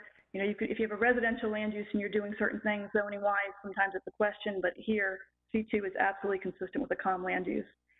And quite frankly, maintaining existing zoning of agricultural residential in this location is, is absolutely inconsistent with the comp plan. And that's why you have rezoning actions and that's why you have comp plan changes, because things change. Next slide. This complies, as staff has told you, with the, with transition, uh, the transitional land uses. They've gone through that very clearly with you. With regard to the residential compatibility and buffer standards, I've, I've, I've um, listed all the LDC requirements, buffering, building height, lighting, on-site parking, stacking, loading outside ref, loading outside, loading comma, outside refuse storage, trees, landscaping, those all apply. And this isn't the first time we have ever had a commercial use next to a residential use. They coexist often.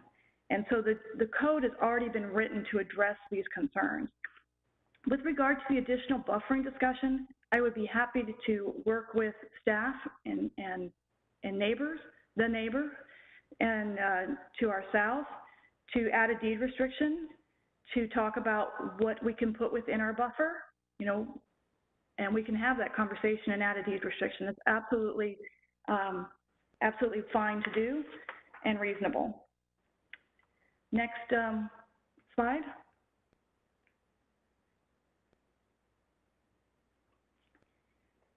This is a, a quote from our um, real estate expert. And what's, if you compare it to the expert that Mr. Pressman presented to you, those are all conclusory statements that were made. But I actually want to read to you what this expert put forth because I think the facts that he puts forth here put a lot of perspective on this location. So this is this is the expert, the real estate expert for the applicant. With regard to the value of the adjacent properties, the three prop the three properties are located because we have three adjacent properties. The three properties are located located approximately zero feet, 180 feet, and 370 feet from the six-lane arterial highway and are next to vacant, unmaintained parcels. As such, is our professional opinion that the development of the subject property for C2 uses would not result in lower property values. As for non-adjacent properties in the general vicinity, it is common for commercial uses to be located at a signalized entrance to a neighborhood, and it's our professional opinion that the residential and commercial uses can coexist without creating a negative impact on their respective values. With that, I think I, I've responded to the different things that were raised. If I didn't address something, I'd be happy to. Um, but we would ask that the um, planning commission, sitting as the LPA, um, make a recommendation that um, the comp plan amendment is consistent with the comp plan. And then I think it's a separate motion required to make a recommendation um, for the rezoning.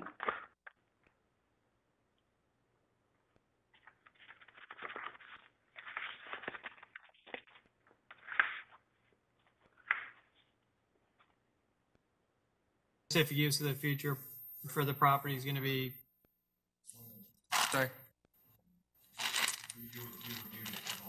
Okay, Barbara, can you hear me? Um, say- Ask me now? Okay. There was a discussion by the, by some of the residents that the, specific to the future use of the, the property being a gas station. Is there any plan for future use that, that, that you could share with us? So that is an, um, a permitted use in C2, which has found, been found to be Correct. consistent by your staff. So that is, that is a potential use.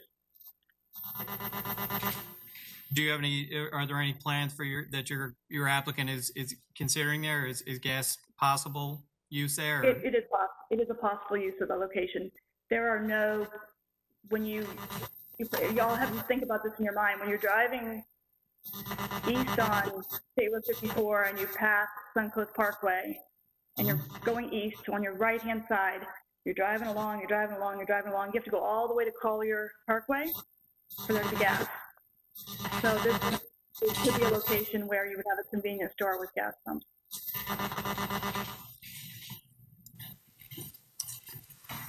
Well, I have a question, Peter Hansel. I don't know. if- Is there, th- there is a, there is a large, there is a significant jump between the agricultural current zoning for that area to a C2. And I think it's common knowledge that when you go to a C2, you open a, a large variety of facilities that can go in there.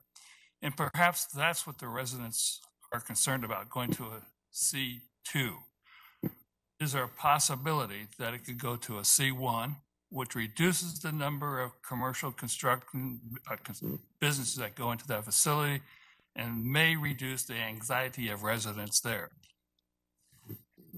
So my answer to that would be that they opposed daycare.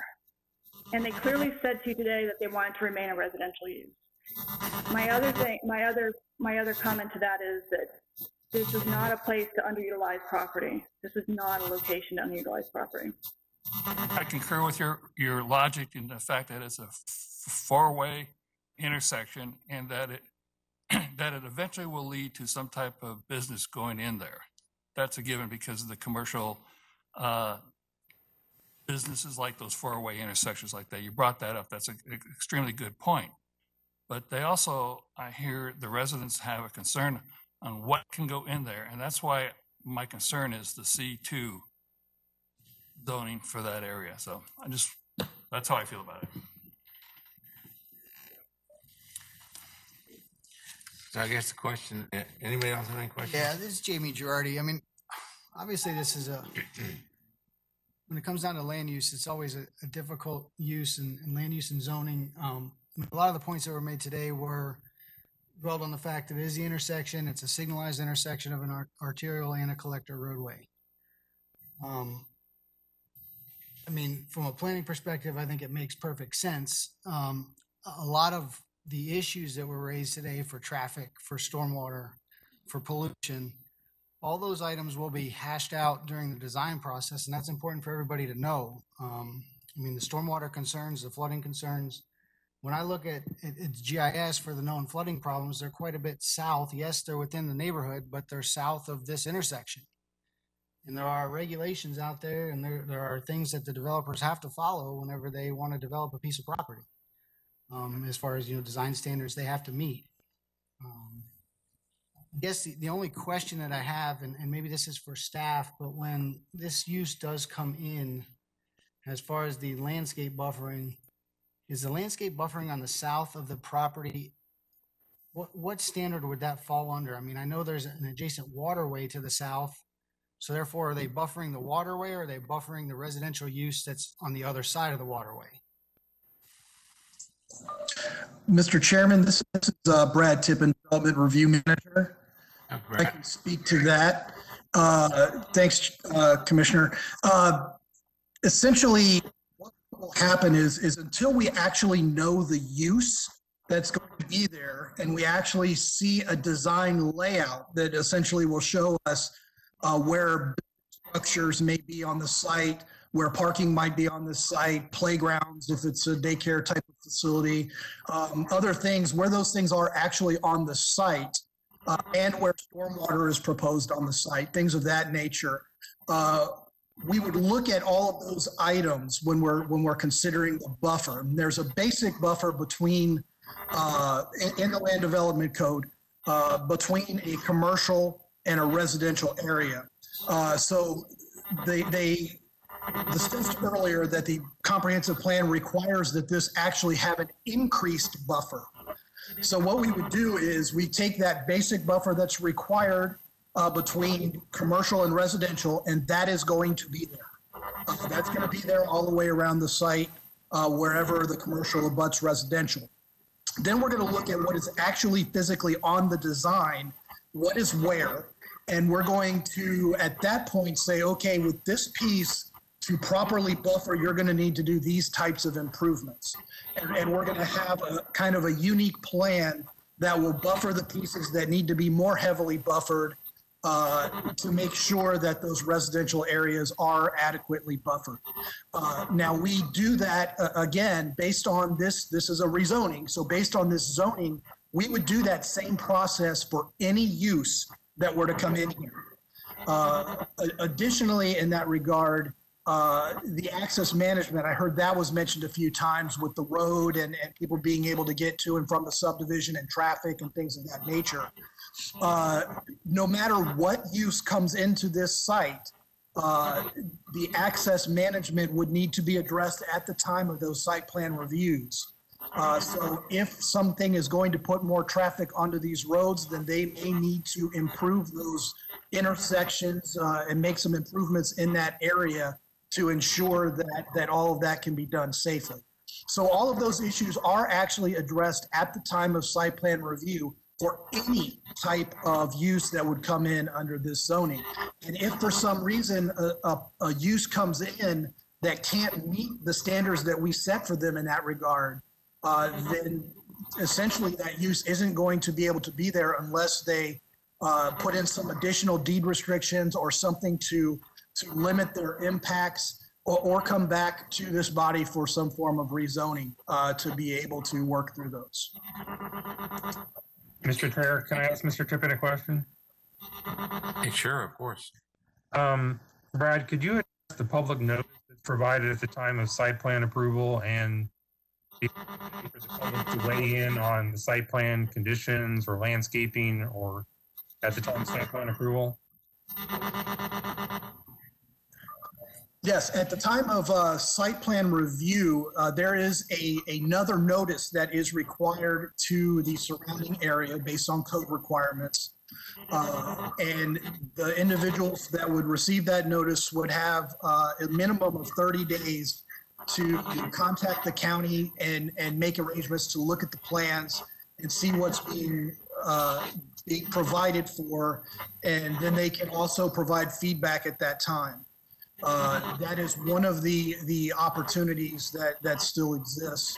Uh, I believe that uh, Ms. Wilhite did say uh, that she was going to, or was willing to possibly meet with the neighbors ahead of that time, possibly even before a site plan would be submitted at all, uh, to come up with some plans as to how to buffer those areas and, and some, some deed restrictions as to what could go in those areas. So, uh, so some of those things may be addressed with some of the, the residents ahead of time, even before it's submitted to the county for review. Uh, But even after it's submitted to the county, 30 days, a minimum of 30 days prior to any approval that we would offer, uh, there will be additional notice that would go out uh, to those that are certainly abutting the property within a particular distance uh, to, to be able to see that information. So Brad, if, if a resident thought that staff's buffering was inconsistent with the comp plan, um, could that be appealed to the planning commission? Absolutely. Uh, The first step that we would do is, is the resident may make comments to us uh, during that review process after they receive notice, and we can forward those comments to the applicant. Uh, If the applicant is willing to address and look at some of the, uh, some of those concerns and maybe make some changes, uh, that is certainly uh, uh, the applicant's prerogative. They, they can do that. If the applicant uh, does not want to do that, and everything else is within the requirements that we're expecting of them, uh, then yes, once we issue the approval, uh, anyone can appeal the decision if they believe that we applied either a comprehensive plan policy or a land development code element incorrectly. That answers all my questions, Mr. Chair. Thank you. All right, thank you, David, and uh, uh, thank you, Brad. Um, Anybody else have any questions? I've- I've got one more comment that I think it's important to, because I mean, we heard, I think from uh, at least Ms. Robertson and, and Ms. Neal, I believe, about the, seems to be a conflict between maintenance of the, the road, the county or, or public. They clearly seem to think that they're, they're paying for maintenance of the road. So that's something that should be reconciled before it, it goes beyond us. Yeah. Mr. Chairman, this, uh, can I speak? Yes, please. Uh, This is Amir Jamali, Transportation Planner with Planning and Development Department. I just want to confirm Meadowbrook Drive is a county maintained road from SR fifty-four to half mile south of SR fifty-four. And this is a twenty-four foot wide road and the piece in frontage of the subject parcel has been recently resurfaced and it is in a good shape. Okay, so how far do you maintain it from 54? Half mile, half mile. A half a mile, okay. Okay, thank you very much. Appreciate that information. Problem. And that clears that up. So otherwise, it's a county maintained road for half a mile. All right, that's my understanding. Is that right? Chris? Okay. I understand. Thank you very much, Amir. Um, yeah, my, I mean, my input is basically that, um, you know, in trying to, I try to always put myself in the position of the, both property owners, the residents and the person who wants to develop the property. It's always a balance of, of property rights. And, uh, I'm a strong proponent of property rights. But I do think that, uh, we need to provide some kind of protection from, for the residents that live in that area. They're very, very close to this property and, uh, and I certainly wouldn't want, um, people walking back and forth from a 7-Eleven, for example, to, you know, to my home, walk across my property or, I know how that, how that gets. I, I'm deal with that all the time. So, um, I would like to make sure that, that if it's voted to be approved, that uh, we, we agree right here and now today that, that the buffer uh, conversation is going to come back before uh, this board, before any, any final approval. Otherwise, I wouldn't vote to approve it unless there was at least a solid wall between this property and the residential property. So that's my, that's my opinion, just sharing it with the board. Mr. Chairman? This, Mr. Chairman, Yes, hey, Terry. th- th- this is Terry Pitos, Planning and Development. Um, To bring the buffer yards back to the Planning Commission uh, before any final approval could take uh, a very long time. Um, It's usually handled during the site plan review process, as Brad had previously indicated, which follows the land use establishment and uh, zoning establishment as well. Okay, uh, Terry, I misunderstood. Then I thought Brad said that uh, um, if there was any disagreement between the property owners and the applicant, that it would come back to the board for, for consideration.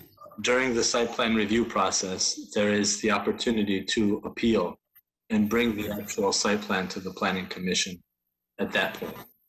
Okay, all right. Not, not, not during these proceedings. Okay. Uh, and uh, let me ask the applicant, would the applicant have any objection to uh, putting up a solid petition between uh, this subject property and the residential properties that you know of? The B buffer, that's the minimum buffer, requires a um, six-foot uh, fence. As I, I'm trying to pull up the landscape requirements. Again, if, if, if we needed to sit down before now on the board and come up with a deed restriction and go through this with staff, we can make it a minimum, um, we can have the conversation again. Uh, we're- absolutely agree with you, with Chairman. I just a little hard to do it on the fly. But um, absolutely agree with you that buffering is important, and the the comp plan agrees with you that buffering is important. So we'd be happy to do that. Okay, um, all right, yeah, my, my, my vote would be not to approve it unless I know there's gonna be some kind of a solid buffer between the, the Let property me and see if I the, can, let me see if I can get an answer here. We are a little bit challenged. I can't sit in the same room with my client, so. I understand, I understand, Barbara, yeah, take, take your time. Uh, Mr. Chairman, this is Brad Tippin. I, I can maybe speak a little bit further to that if you like. Hey, Brad, sure, yeah, go right ahead. Uh, yeah, the, the type B buffer that would be required, uh, it requires a six foot tall opaque visual screen, uh, at a minimum. And like I said before, uh, the, the comprehensive plan, because this is a commercial use in this area, very specifically says that to go above and beyond that standard. Uh, so it would be perfectly reasonable for us to, at the time of site plan, uh, review, to request that this be a, uh, a wall and also that it be anywhere, uh, from six to eight feet, depending on, on what would be visually appropriate, uh, in the area. Uh, again, until we actually have the plan in front of us, it's difficult to tell where some of those things would be necessary. Um, because a, a wall is often unsightly as well. Uh, so, you know, there, there may be a place where, where certain types of combinations of landscaping are more appropriate, and there may be places where other features such as walls would be appropriate. But until we actually have that design down the road, uh, we can't necessarily say what that would be and what would be appropriate where.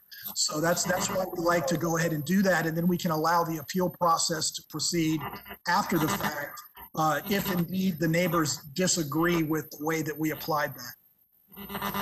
Okay, yeah, I I'm, I'm can add- doing one, I can I'm add- doing one right I now can add where, that. where we're requiring a green wall. Basically, it's a wall with a, with, you know, the- with growth on it, so it's always green. But uh, Barbara, did you say something? Yeah, I can add to that. You know, I, when, and looking at the type B, the type B requires screening to six feet at installation or within one year. But it allows you a variety of ways to do it. And I think this is what you're getting at, Chairman. It allows you to have an opaque fence, wall, berm, or hedge, or some combination of those. So it sounds like what, what you're asking is for us to either do the opaque fence or the wall, so that we actually have a barrier and not just a landscape or barrier that somebody could go through. And so, again, I, we can do a deed restriction that says, you know, we do a fence or a wall. Again, we can kind of work on that, exactly which one is best and not do it on the fly, but I get, I get the point that, you want to see something more than landscaping there, and we're agreeable to that. Yeah, because I, I know how that happens. People hanging around a, a convenience store, you know, walking across people's yards, and it's just not, it's not appropriate. So I think we have an obligation to protect the residents there and still give the landowner an opportunity to develop his land properly. Obviously, he's not going to build a house there. And it's not appropriate for that either. So, um, as, as I say, it's a balancing act, and I think it's our responsibility to make sure that we try to balance the interests of all parties. So, um, Mr. that's- Chair, that's can how I can I ask a question? So, Sorry, David. Yeah, go yeah, ahead. um, so what you're asking for would require a deed restriction, as Barbara mentioned. Are you comfortable with staff working on that deed restriction with the applicant between now and the board meeting? Or did you want to see the deed restriction before you vote on it? That's really the question. Is that a question to me or to Barbara? Well, to you and the planning commission, because Oh, okay. All right. because if you want to see the deed restriction first, you'd have to continue the item. if you're comfortable with staff and the applicant working on it between now and the board, then just let it proceed. Um, I'm comfortable with the staff, uh, working on it, but if the residents, you know, have a, have a strong opinion or don't agree, then I want to make sure we have an opportunity to take another bite of the apple. Otherwise, I'd like to see what it is before it's, before it goes to the commission. Well, I think if they're not happy with that, I mean, I guess it's possible the board could remand it back to the planning commission. Um, if there's a disagreement over the deed restriction, It- it's your planning commission as to how you want to handle this. If, if you can either d- continue it until you see that deed restriction, or you can let it move forward. Soon the staff will work out that issue with the applicant. Okay, um, well, let me see what kind of a motion that we can get from the, from the board here. Well, uh, one, one question before that, Mr. Chair, if I, if I could. Yeah. So, David, that continuance would be under the zoning amendment, correct? So we could let the, uh, the comprehensive plan amendment go forward and continue the zoning amendment? Is that what you're suggesting? Well, I'm not suggesting anything. You could let them both go forward. I'm just, but yes, to answer your question, you, you, the deed restriction would not be part of the comp plan amendment. It would be part of the zoning. So yes, you could let the comp plan amendment move forward and, and hold back and continue the rezoning if you wanted to. Okay. With that, I, I, I can make a motion. Sure. Okay, I'd make a motion to approve the, uh, the comprehensive plan amendment as presented. Do we have a second? Amy Girardi, I'll second that. Okay, we have a motion and a second. Any further discussion on the motion? Well, My only concern is I hear the words request. Nothing compels the developer to do any action really, because request is not an action word for the most part. Once we approve this to a C two. Well, to be clear, he, he, he did not make a motion on, on the rezoning yet. He only made a Yeah, motion. that's only the comp plan amendment. Comp plan, yeah. This is not the rezoning. Well, that's the next thing we gotta deal with. Okay, so if there's no further discussion, let's vote by roll call.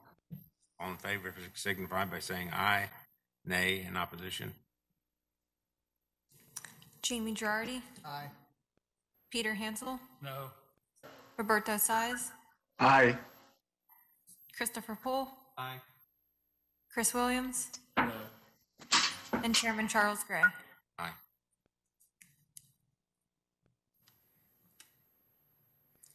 Okay, now, uh, about the, uh, um, the actual rezoning itself, uh, we need a motion to either continue or, um, or approve that motion. Did I understand it? Is that right, David? Yes, you would either continue it or move for approval. Or denial, one of those three. Or deny, yeah. Okay. Do I hear a motion? I'll make the motion to continue. Go ahead. Cancel. Okay, we have a motion to continue. Do I have a second? I second. We have a second. Any further discussion of the motion? And just for clarification, the, the request is for the applicant to come back with a deed restriction for the buffering requirements on the property? Is that right? That, David, that's, that's right, correct? Well, uh, yes, if that's the planning commission's direction to the applicant, that you're continuing it so that you can see that deed restriction, then yes, that, that would be the reason for the continuance. You do need to state how long you want to continue it, though. Is this 30 days or, or to when? So if I could jump in as the applicant, we are agreeable to a continuance.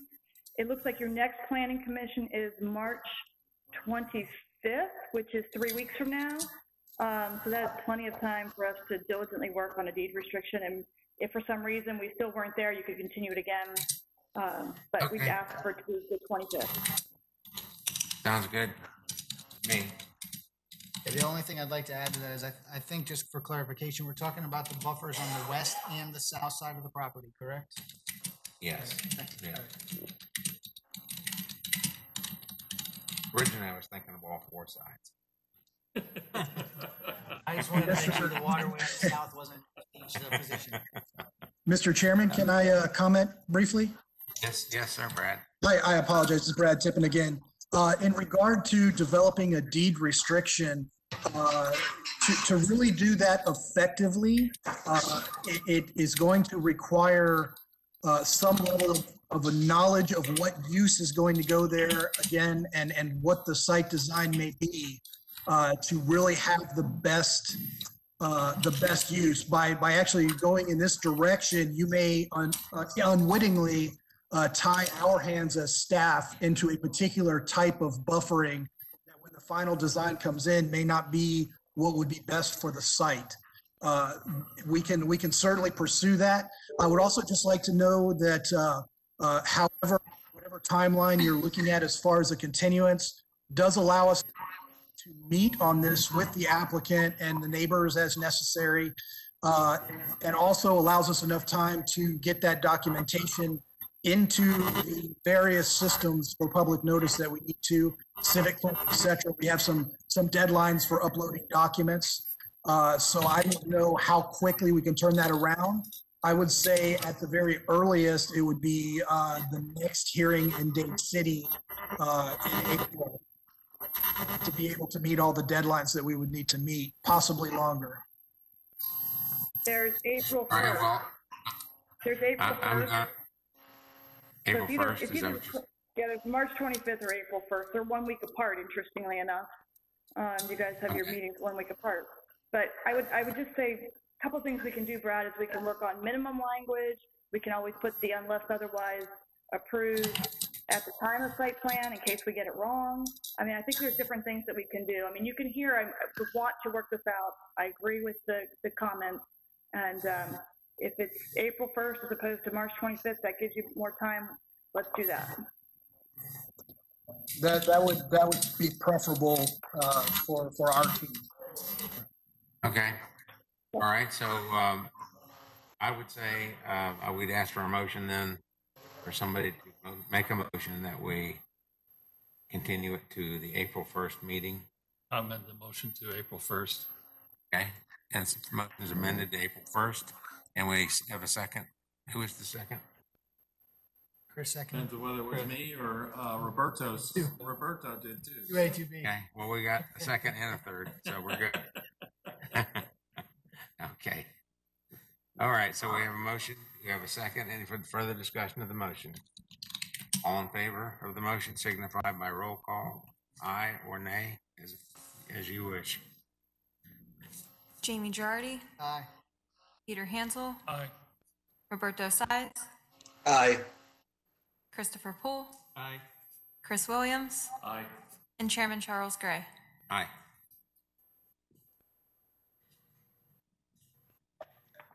Okay, Mr. Chair, just for clarification and for everyone who's listening, um, the, the, um, continuance date is April 1st, 2021 at 1:30 in Dade City. You got it. Okay, thank you. All right, so we've got one last item on the agenda today. Okay, And if I can share my screen, give me a s- minute.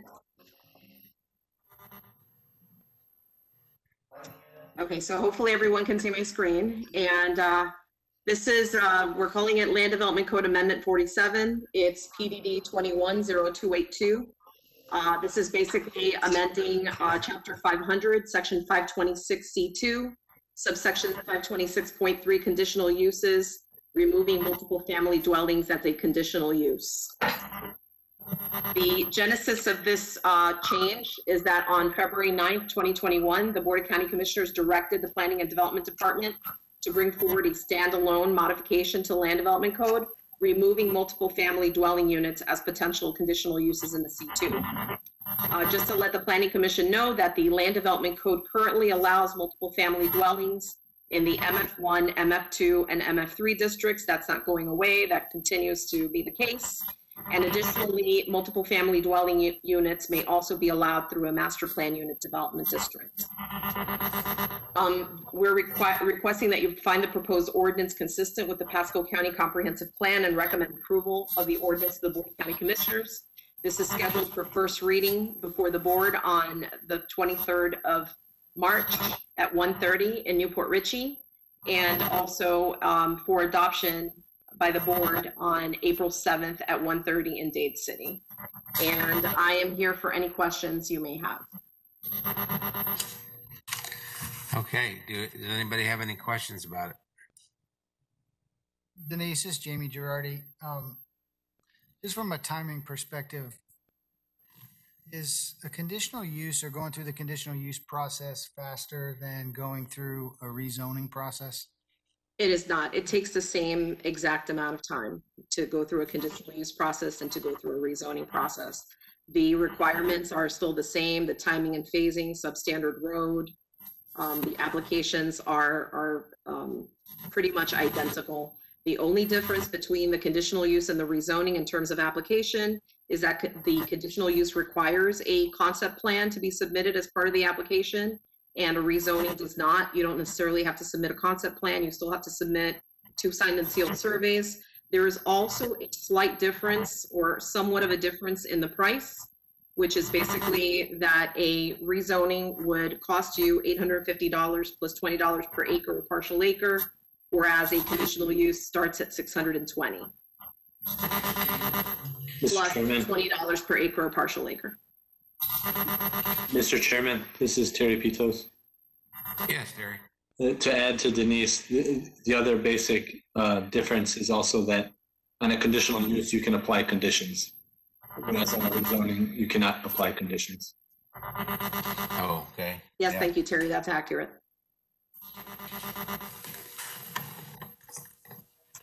And let me add one more thing to that, which is the criteria for for approving a conditional use are different than for a rezoning request. Di- Different criteria in the code. Yes, that's true as well. Okay, yeah, I mean, my only concern is that I- I understand what the board's direction here is and the way they're trying to go, but I'm just worried if there's any other um, unintended consequences here by moving forward with this ordinance, that's all. That was the purpose of my question. Yeah. And what can, what is the real purpose for doing this? Just out of curiosity. Anybody have any ideas on that? Terry? Well, uh, ultimate, ultimately, I, um, based on the conversations that were had, is that I think the Board of County Commissioners wants to see commercial on, on commercial uses. Um, and they want to, they also want to see an inte- integration of uses. So if the, if the conditional use for the multifamily existed together with other commercial uses integrated, um, I think they would prefer to see that. But what we're basically seeing on existing commercial, commercially zoned properties is folks coming in to um, add multifamily, but then that becomes the sole use is the multifamily. So the way the land development code is currently in the MF2 and the MF3 districts, for example, not in MF1, but in MF2 and MF3, you can have that integration of commercial and multifamily uses because the multifamily district also allows commercial uses to serve the multifamily community, um, typically consistent with C1. Okay. Any questions? Any other questions? All right. Thank you. I think that was the last one. Is that right, Denise? Huh? That is, that is correct. No, there, there is no public comment. Is that correct? Um, I do see that there are at least three folks still on here, so I want to provide the opportunity for those to actually um, comment if they wish to comment. Um, I do see uh, Barbara Wilhite is on here, Mr. Joel Tew is on here, and I also see Marcy Esbjerg from Community Development. So potentially, tho- those uh, folks may want to comment. So Okay. If they do, they're, hap- I'm happy to hear them at this time. So step up. Mr. Chairman, Barbara Wilhite, I, I have something I could add. Yeah. Is Barbara Wilhite, 5327 Grand Boulevard, Newport Florida, 34652. I'm not speaking on behalf of any client. I just want to make sure there's no unintended consequences here. And so I raise a concern, and it has to do with affordable housing. Um, over all the years that I've done conditional uses for multifamily, with the exception of the one that has been controversial um, lately over in Wesley Chapel, they've all been done for affordable housing projects, whether that be senior or family.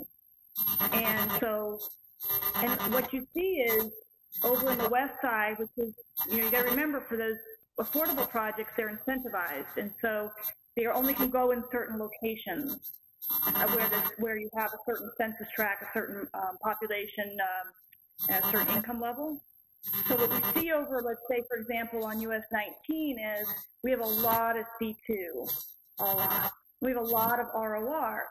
And what you have to remember for these projects is what they really need is the land use category because res uh, ROR has 23 units per acre, and mixed use, which you don't see as much of on 19, has 32 units per acre, of. So they need the land use, and so C2 is already located where that density is allowed. So my affordable clients have always said there's not enough multifamily in land use classification, um, and they can't go through a land use change. They can't make it within their time periods. Now, so I, I'd ask, as, as I, was, I think I've said, I haven't spoken to Commissioner Hildebrand in a long time, but she always used to say, let's not throw the baby out, baby out with the bathwater. I don't know if my concerns are, are true, and so I speak on behalf of myself only, um, but I want to raise the concerns. I certainly don't want to see it make it harder for us to have some of these affordable projects, because remember when they apply for the lottery, we're competing statewide for money to bring this project to Pasco, these projects to Pasco to help our residents. And so if we're not competitive because we have our own process that makes it more difficult for these projects to be competitive, other counties will get the other money and their citizens will get these projects. So that's it. I appreciate you listening to me. Okay, thank you, Barbara. Mr. Anybody else there? Yes, Mr. Chairman, Joel Tew, if I might have a moment. Hey, Joel? Hi, uh, Joel Tew Tew and Associates, Palm Harbor. Um, I only want to speak very briefly. I've been actively involved with this uh, at the board level. Um, I agree with Barbara. I, I, I think that the commissioner who, who made the motion was very well intentioned, but I think with respect, I think that we're just getting in a little bit too big of a hurry to try to do something in a knee-jerk fashion dealing with this multifamily apartment issue. I don't know if any of you commissioners had a chance to review the industry expert presentation that was made by the private industry at the commissioner workshop. But if not, I would I would suggest that if you have time, pull that up and look at the presentation about the market demand. And it's it's not only the Class A market demand, which is substantial, but also the changing demographic in Pasco County and the realities of the marketplace. Now, with respect to this particular proposal, uh, I'm assuming that it is for prospective application only, so that anyone that already has a conditional use application in can pursue that. I, I don't know the answer to that. I'm sure that, that David likely does or Denise. Um, but my other concern is, I don't know why, since, since a conditional use has special criteria, as David said, because you can impose conditions on it. For example, the matter you just wrestled with on Barbara's other matter about conditioning requiring a wall, if this were conditional use, you could have simply imposed that condition in that conditional use approval, whether the applicant liked it or not, and said, if you want your conditional use at that location, you will build a wall, for example. So there's actually some merits. I don't know if the board's problem is that you get to see the conditional use and they don't unless there's an appeal. I, I really, I don't know honestly where, where they're coming from because certainly you have control. And my last comment is we're talking specifically about C2. And it's not just the impact of the pandemic on retail, but as you know, with online shopping, there's been a there's been a seismic shift in America on commercial retail. We have C2 all over this county, not just in the US 19 area, but particularly West County. We have C2 in less than A locations. We're going to have trouble for the next 10 years and possibly forever repurposing and filling all the C2 areas we have, even at good locations, much less inferior locations. So conceptually, I question why would you take away one tool you have to possibly do a conditional use in an appropriate C2 location for multifamily? And if one of your conditions is, hey, it needs to be adjacent to other uses, it can't just be multifamily, well, in the conditional use process, you certainly can impose that. And just because someone can apply for conditional use certainly doesn't mean that this board is obligated to approve it. Um, so that's why I'm, I'm confused by the whole effort, and I just don't want to let it go without saying anything because I can I intend to continue speaking on this multifamily issue because I simply think that the the direction that some people are trying to go is just factually wrong. Uh, it's policy wrong. Uh, it's probably not legal, uh, but it certainly doesn't match the market demographics and the growth that Pasco County is having and will continue to have. So I, I, I think you need to hit the pause button. My only suggestion is hit the pause button, maybe think about those things, uh, and, and, and then go from there. Uh, Thank you. Thank you, Joel. Uh, Marcy Esbjerg? Thank you. Uh, So I'd like to take a moment to introduce myself. I've never had the opportunity to direct, uh, to uh, speak to you directly. Marcy Esbjerg, I'm the Director of Community Development for Pasco County. And I do want to uh, add to the comments specifically about this uh, in relation to affordable housing, which is what uh, we focus in as one of our core uh, portions of our mission here in community development. And I will tag on to the previous speaker and say that uh, Pasco is a very growing county. And perhaps because of the pandemic, because of just growth in, in Florida, uh, housing costs and rental costs are all uh, exorbitant. And right now, under uh, uh, the eviction moratorium and foreclosure moratorium, our markets have become extremely strained. Uh, houses are selling in a day. Uh, people are having a really hard time finding housing. I particularly doing a lot of work with the homeless, and we have a housing surge going on, and we're having difficult time finding rental housing for people that were paying uh, to get housing and get them out of homelessness. And so any tool that the county has in their toolbox to increase housing, increase supply of housing, increase supply of ho- affordable housing is critical for our community. It's critical to create a balanced community. Uh, y- you know, in order to for our children to go to school, we need teachers, we need um, we need clerical staff, we need custodians in our schools.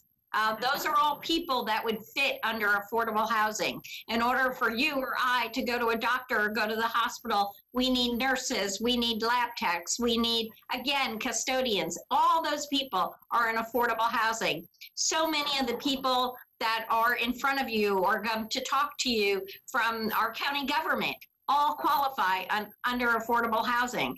So, what we want to do as we grow is we want to grow smart. We want to grow equitably and uh, and to me uh, a tool in the toolbox of this uh, a building and uh, a mixed use mixed zone building is a best practice all around the country. And it concerns me number one that the county would be going against what would be an urban land institute best practice or a best practice again all over the count, country but we decide to go in another direction number one. And number two it's critical for the county to always consider any changes in policy how it's going to affect affordable housing, either the amount of affordable housing or the cost of affordable housing.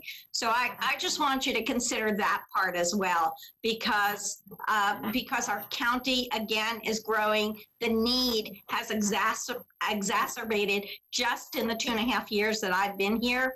And to put a policy like this into practice, into, in place would only exacerbate it even more. Thank you for your time. Thank you. I appreciate your input. Um, so David, are you saying that, uh, if it's just a strict rezoning, that we don't have the flexibility to, or the county doesn't have the flexibility to impose certain, uh, requirements? So if it is, well, okay, depends how it comes to you. If it comes to you as an MPUD and some departments do come to you as an MPUD and, and in those instances, you do have the ability to impose conditions. For a straight rezoning, yes, you would not have the ability to impose conditions. However, as noted from today's item and other items, staff basically finds a way to do that through a deed restriction. So if they have specific concerns about a straight rezoning, they usually will ask the applicant to enter into a deed restriction that imposes additional restrictions. So while it's not a condition, it does effectively act like a condition, if that makes sense. Uh, yeah. it The big does. difference is that it's not imposed by the planning commission or the board. It's really volunteered by the applicant to get an approval. Yes, I understand. Okay. All right, uh, well, does And- anybody have any questions about it? Just to clarify, this is Jamie Girardi again, just to clarify, conditional uses also go to the board, correct? We only approve special exceptions? That's correct. Yeah, conditional uses and, and rezonings go to the planning commission and the board.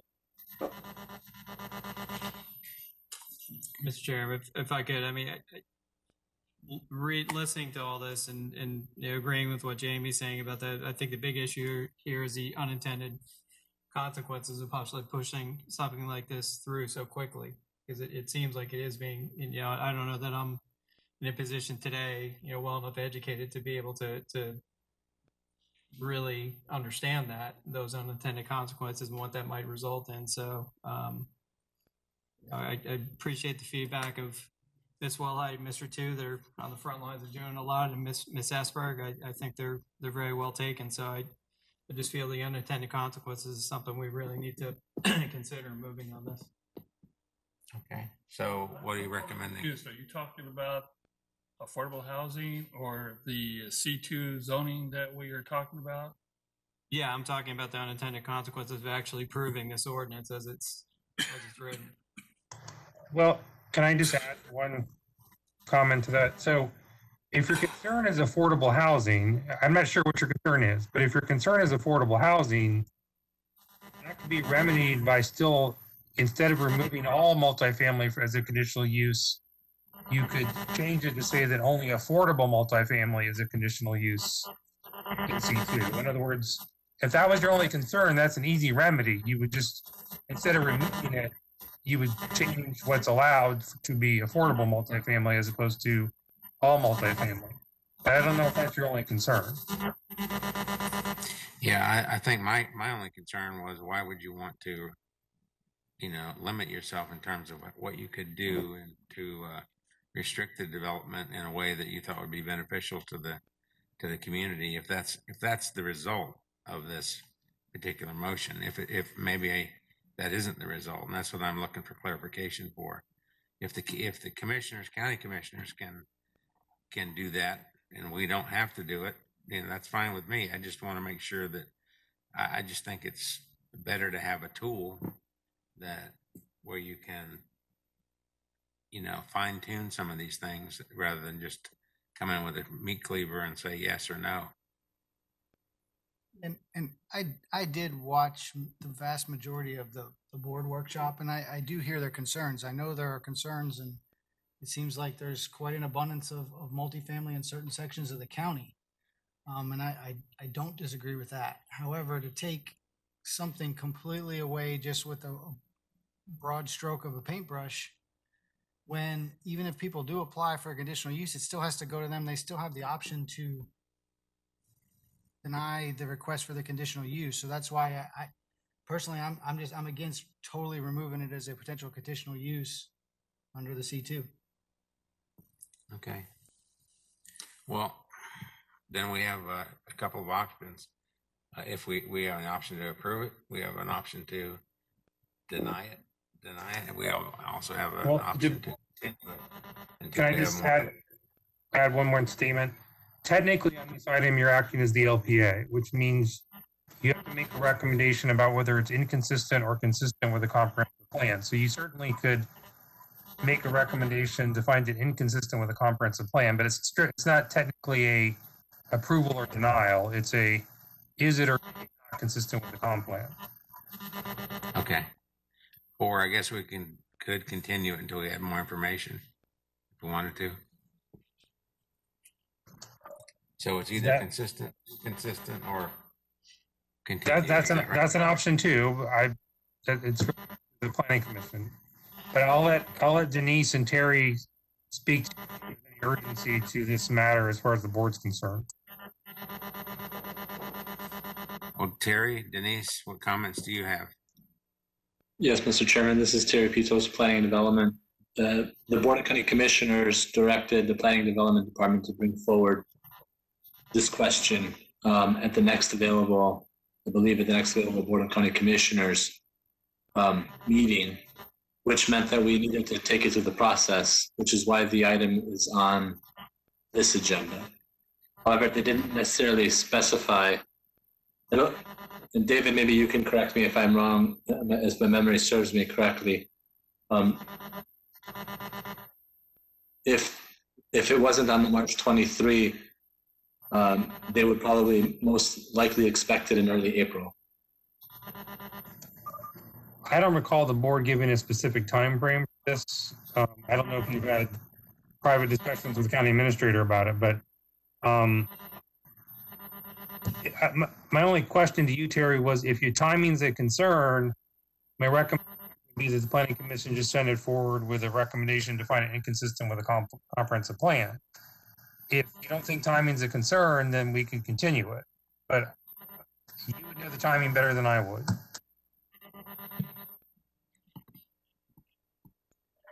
Denise, any comments? Yeah, from my, from my recollection, I was at that Board of County Commissioners meeting on February 9th. Um, basically, what was, what was offered to the board is that that is a simple thing to do. It's a standalone amendment. It could be done fairly quickly. Um, I'm almost certain that there was at some point, we said that it could probably happen within the next 60 to 90 days. Um, but we didn't, we didn't state exactly what date it would happen, but yes, there was a, a sense of, um, and I'm going to use this term, but I don't think this is the real word, urgency or some, some form of urgency. So it was important that it get done uh, fairly quickly. Okay, so you say sixty to ninety days, so if we continued it until the next meeting, we'd be all right then. Or we I, can- I would, some- I would say so, members- yeah. Some of the members obviously have questions about it. And, you know, I don't But I think think it's we need fair. to, I I think we need to understand, um, to the plan, to the local planning agency, the planning commission, I think we need to understand what we need to show you um, to address your concerns, your questions. Because I I know we can continue it potentially to the 25th, which is the next planning commission, local planning agency meeting at 1:30 in New Port Richey. Uh, but I think we also need to, um, we need to show you what exactly you're look, you're looking for in terms of what can answer some of your questions. I or what your the questions are. that- Easiest way to say that is the questions that were raised by Mr. Tew and Mrs. Wilhite are the questions that we have. You know, are there unintended consequences that, are they taking away tools that we should actually be be using in the future that can benefit the county? Uh, are we, is this a knee jerk reaction to something that we don't like? Um, we did, we, I don't think any of us have any objection to, to approving it if it's a tool that we've thought this thing through. We don't want to just uh, make a, you know, just overreact, in other words, without thinking of what we're doing. So, Mr. Chair, yeah, can I just make a comment there? So it kind of depends on what you consider an unintended consequence, because I think our board does intend to limit multifamily. I mean, that is an intended consequence of the Board of County Commissioners. Now, one might argue that they didn't intend to, to limit affordable multifamily, and that might be an unintended consequence, and possibly even, you know, vertically integrated multifamily. Um, but if, if those are the potential unintended consequences, those can be fixed by changing the code to allow those two types of multifamily, but still making all other multifamily not a conditional use in C2. So that's not a data issue. That's a, we can fix the amendment to, to allow those to occur. But mm-hmm. other than affordable housing and possibly mixed-use multifamily, I- I'm not sure that there are any other unintended consequences. I think the board, in my opinion, from hearing the conversation, does want to limit what I'll call standard multifamily development in the commercial zi- district. Yeah, I, I know that. Uh, does it also limit our uh, ability to control landscape and things like that, that we buffer zones and take us out of that? Mr. Chairman, I think the, uh, if you remove the conditional use from C2, it would then cause a rezoning action to get the multifamily. And at that point, you would not be able to condition outright. Um, But as, as the uh, county attorney noted, um, there's the opportunity or the option to deed restrict at those, at those situations, but uh, it's not as forceful as mandating a condition via conditional use. So we're talking about what's happening within the C2 and the ability to condition within the C2. And if we take that away, then we got to go to other zoning districts and deal with the rezoning process and, and the limitations of that. And I would add to what Terry said, is you, this, the planning commission has approved a number of rezonings to multifamily districts, MF1, MF2, MF3, with deed restrictions. And specifically, some of them have limited the multifamily to townhomes as opposed to apartments. So there is a history of, of approving multifamily rezonings with deed restrictions. You've done it before, is my point. Okay. All right. I mean, again, my, my concern is not as much, I mean, unintended consequences, yes, is one concern, but also I, I don't, I mean, just the generic and, and broad stroke of eliminating the conditional use in the commercial zoning. I mean, that frankly, there, in my opinion, there's areas that are commercially zoned in this county that multifamily makes sense on. I mean, there's stuff, parts of the nineteen corridor that there's probably way more commercial than will ever be used. Um, there, there was the redevelopment at the mall, for example. Um, so I, I, I mean, I don't know, what, what is the criteria for, um, stating it's inconsistent with the comp plan? So you're saying basically you take some of this excess property in uh, Highway 19, basically in New Port Richey. That's ba- basically a, a large building, no longer used, and convert it into apartments or housing or something No, What, what I'm saying is, is that I think there's a lot more commercial out there in light of what's going on in the commercial market these days. There's a lot more commercially zoned property out there than there ever is gonna be demand for commercial uses. Then To follow up with that comment, then is to convert it into residential property or apartments? No, I'm, I'm saying you, you leave the uh, property owner the option for a conditional use. Look, the board still has the right to deny a conditional use. But you could do that, and that would be a use of property then, correct? A- A good function. Correct. Yeah, and alleviates the uh, housing crisis for, uh, for income groups or various uses. That's what I'm. To, I'm to answer, yeah, to answer Mr. Girardi's question directly, if you want to find it consistent with the comp plan, you would have to identify policies in the comp plan that this act is consistent with. Um, I'm not sure staff's going to be able to help you with that. because they've been charged to bring this forward. So you'd either be on your own or maybe Mr. Or Miss Wilhite could help you out with that, but um, Yeah, I mean, David, this is Joel. If, if the commission sees fit to continue it, if, if the county attorney's office is going to abandon the planning commission, um, I'll be glad to provide those policies because clearly it's inconsistent with affordable housing. It's inconsistent with the urban service area and the promotion of density. I can give you a litany of policies that it's inconsistent with. Uh, and I'm happy to, uh, help the planning commission in this regard. I'm not saying that I'm abandoning the planning commission, to be clear. I do serve a- I do serve a higher master, so. I know, I would just give you a hard time. I, I get it, and I'm, I'm not, con- I'm not conceding yet that there are three votes on that county commission to restrict, uh, apartments in the county. Yeah. Well, I know David and I know he would never abandon us, so I'm good there. But Denise, from a perspective of education, I think, you know, the place to start, and I kind of started this and I saw a couple of my colleagues write it down, but is it the board workshop, the industry expert presentation that was referenced?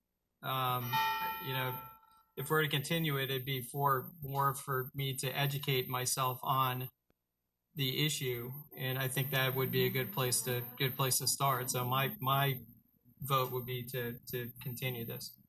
So is that a motion? If you would like me to make it into said motion, yeah, I'd- I'll uh, uh, move to continue this item to. Um, uh, let's see, we we Are we discussed. doing March 25th or April 1st? April first, that's, April 1st. that work? That's I think that was Brad's guidance. So yeah, that Miss Jamie Girardi, I'll second. Okay. Any further discussion on the motion? All in favor of the motion signify by saying aye. Jamie Girardi, Aye. Peter Hansel. Aye. Roberto Size, Aye. Christopher Poole, Aye. Chris Williams. I think I vote on this. Uh. Oh, come on. I'd like, I would. that's why working down there. He's like, Okay, And Chairman Charles Gray. aye. Okay, that was the last item on your agenda. Okay, thank you. We have a motion to adjourn. Motion to adjourn. Chris Poole. Second. Chris All in Williams. favor? Aye. Aye, and, Aye. and thank you, all the staff, for all your help. Uh, yeah, we had a lot of questions on this one. And Denise, I'll tell you, you're, you're a real soldier. You're a warrior. Showing up after all that pain you were in, you know? So, Smile. we appreciate you. Yeah, well, it's nice to see you all, and I wish I could be there, but you know, maybe next time. I'm not sure. We'll see. Okay, well, we hope so. That's right. And Thanks, David. I know you're with us. I would never expect you to leave us. I'm always with you all. Even if I'm not there in person. That's right. Okay, thank you, everybody. All right, see you next time. Thank you. Have a good weekend. Thank you.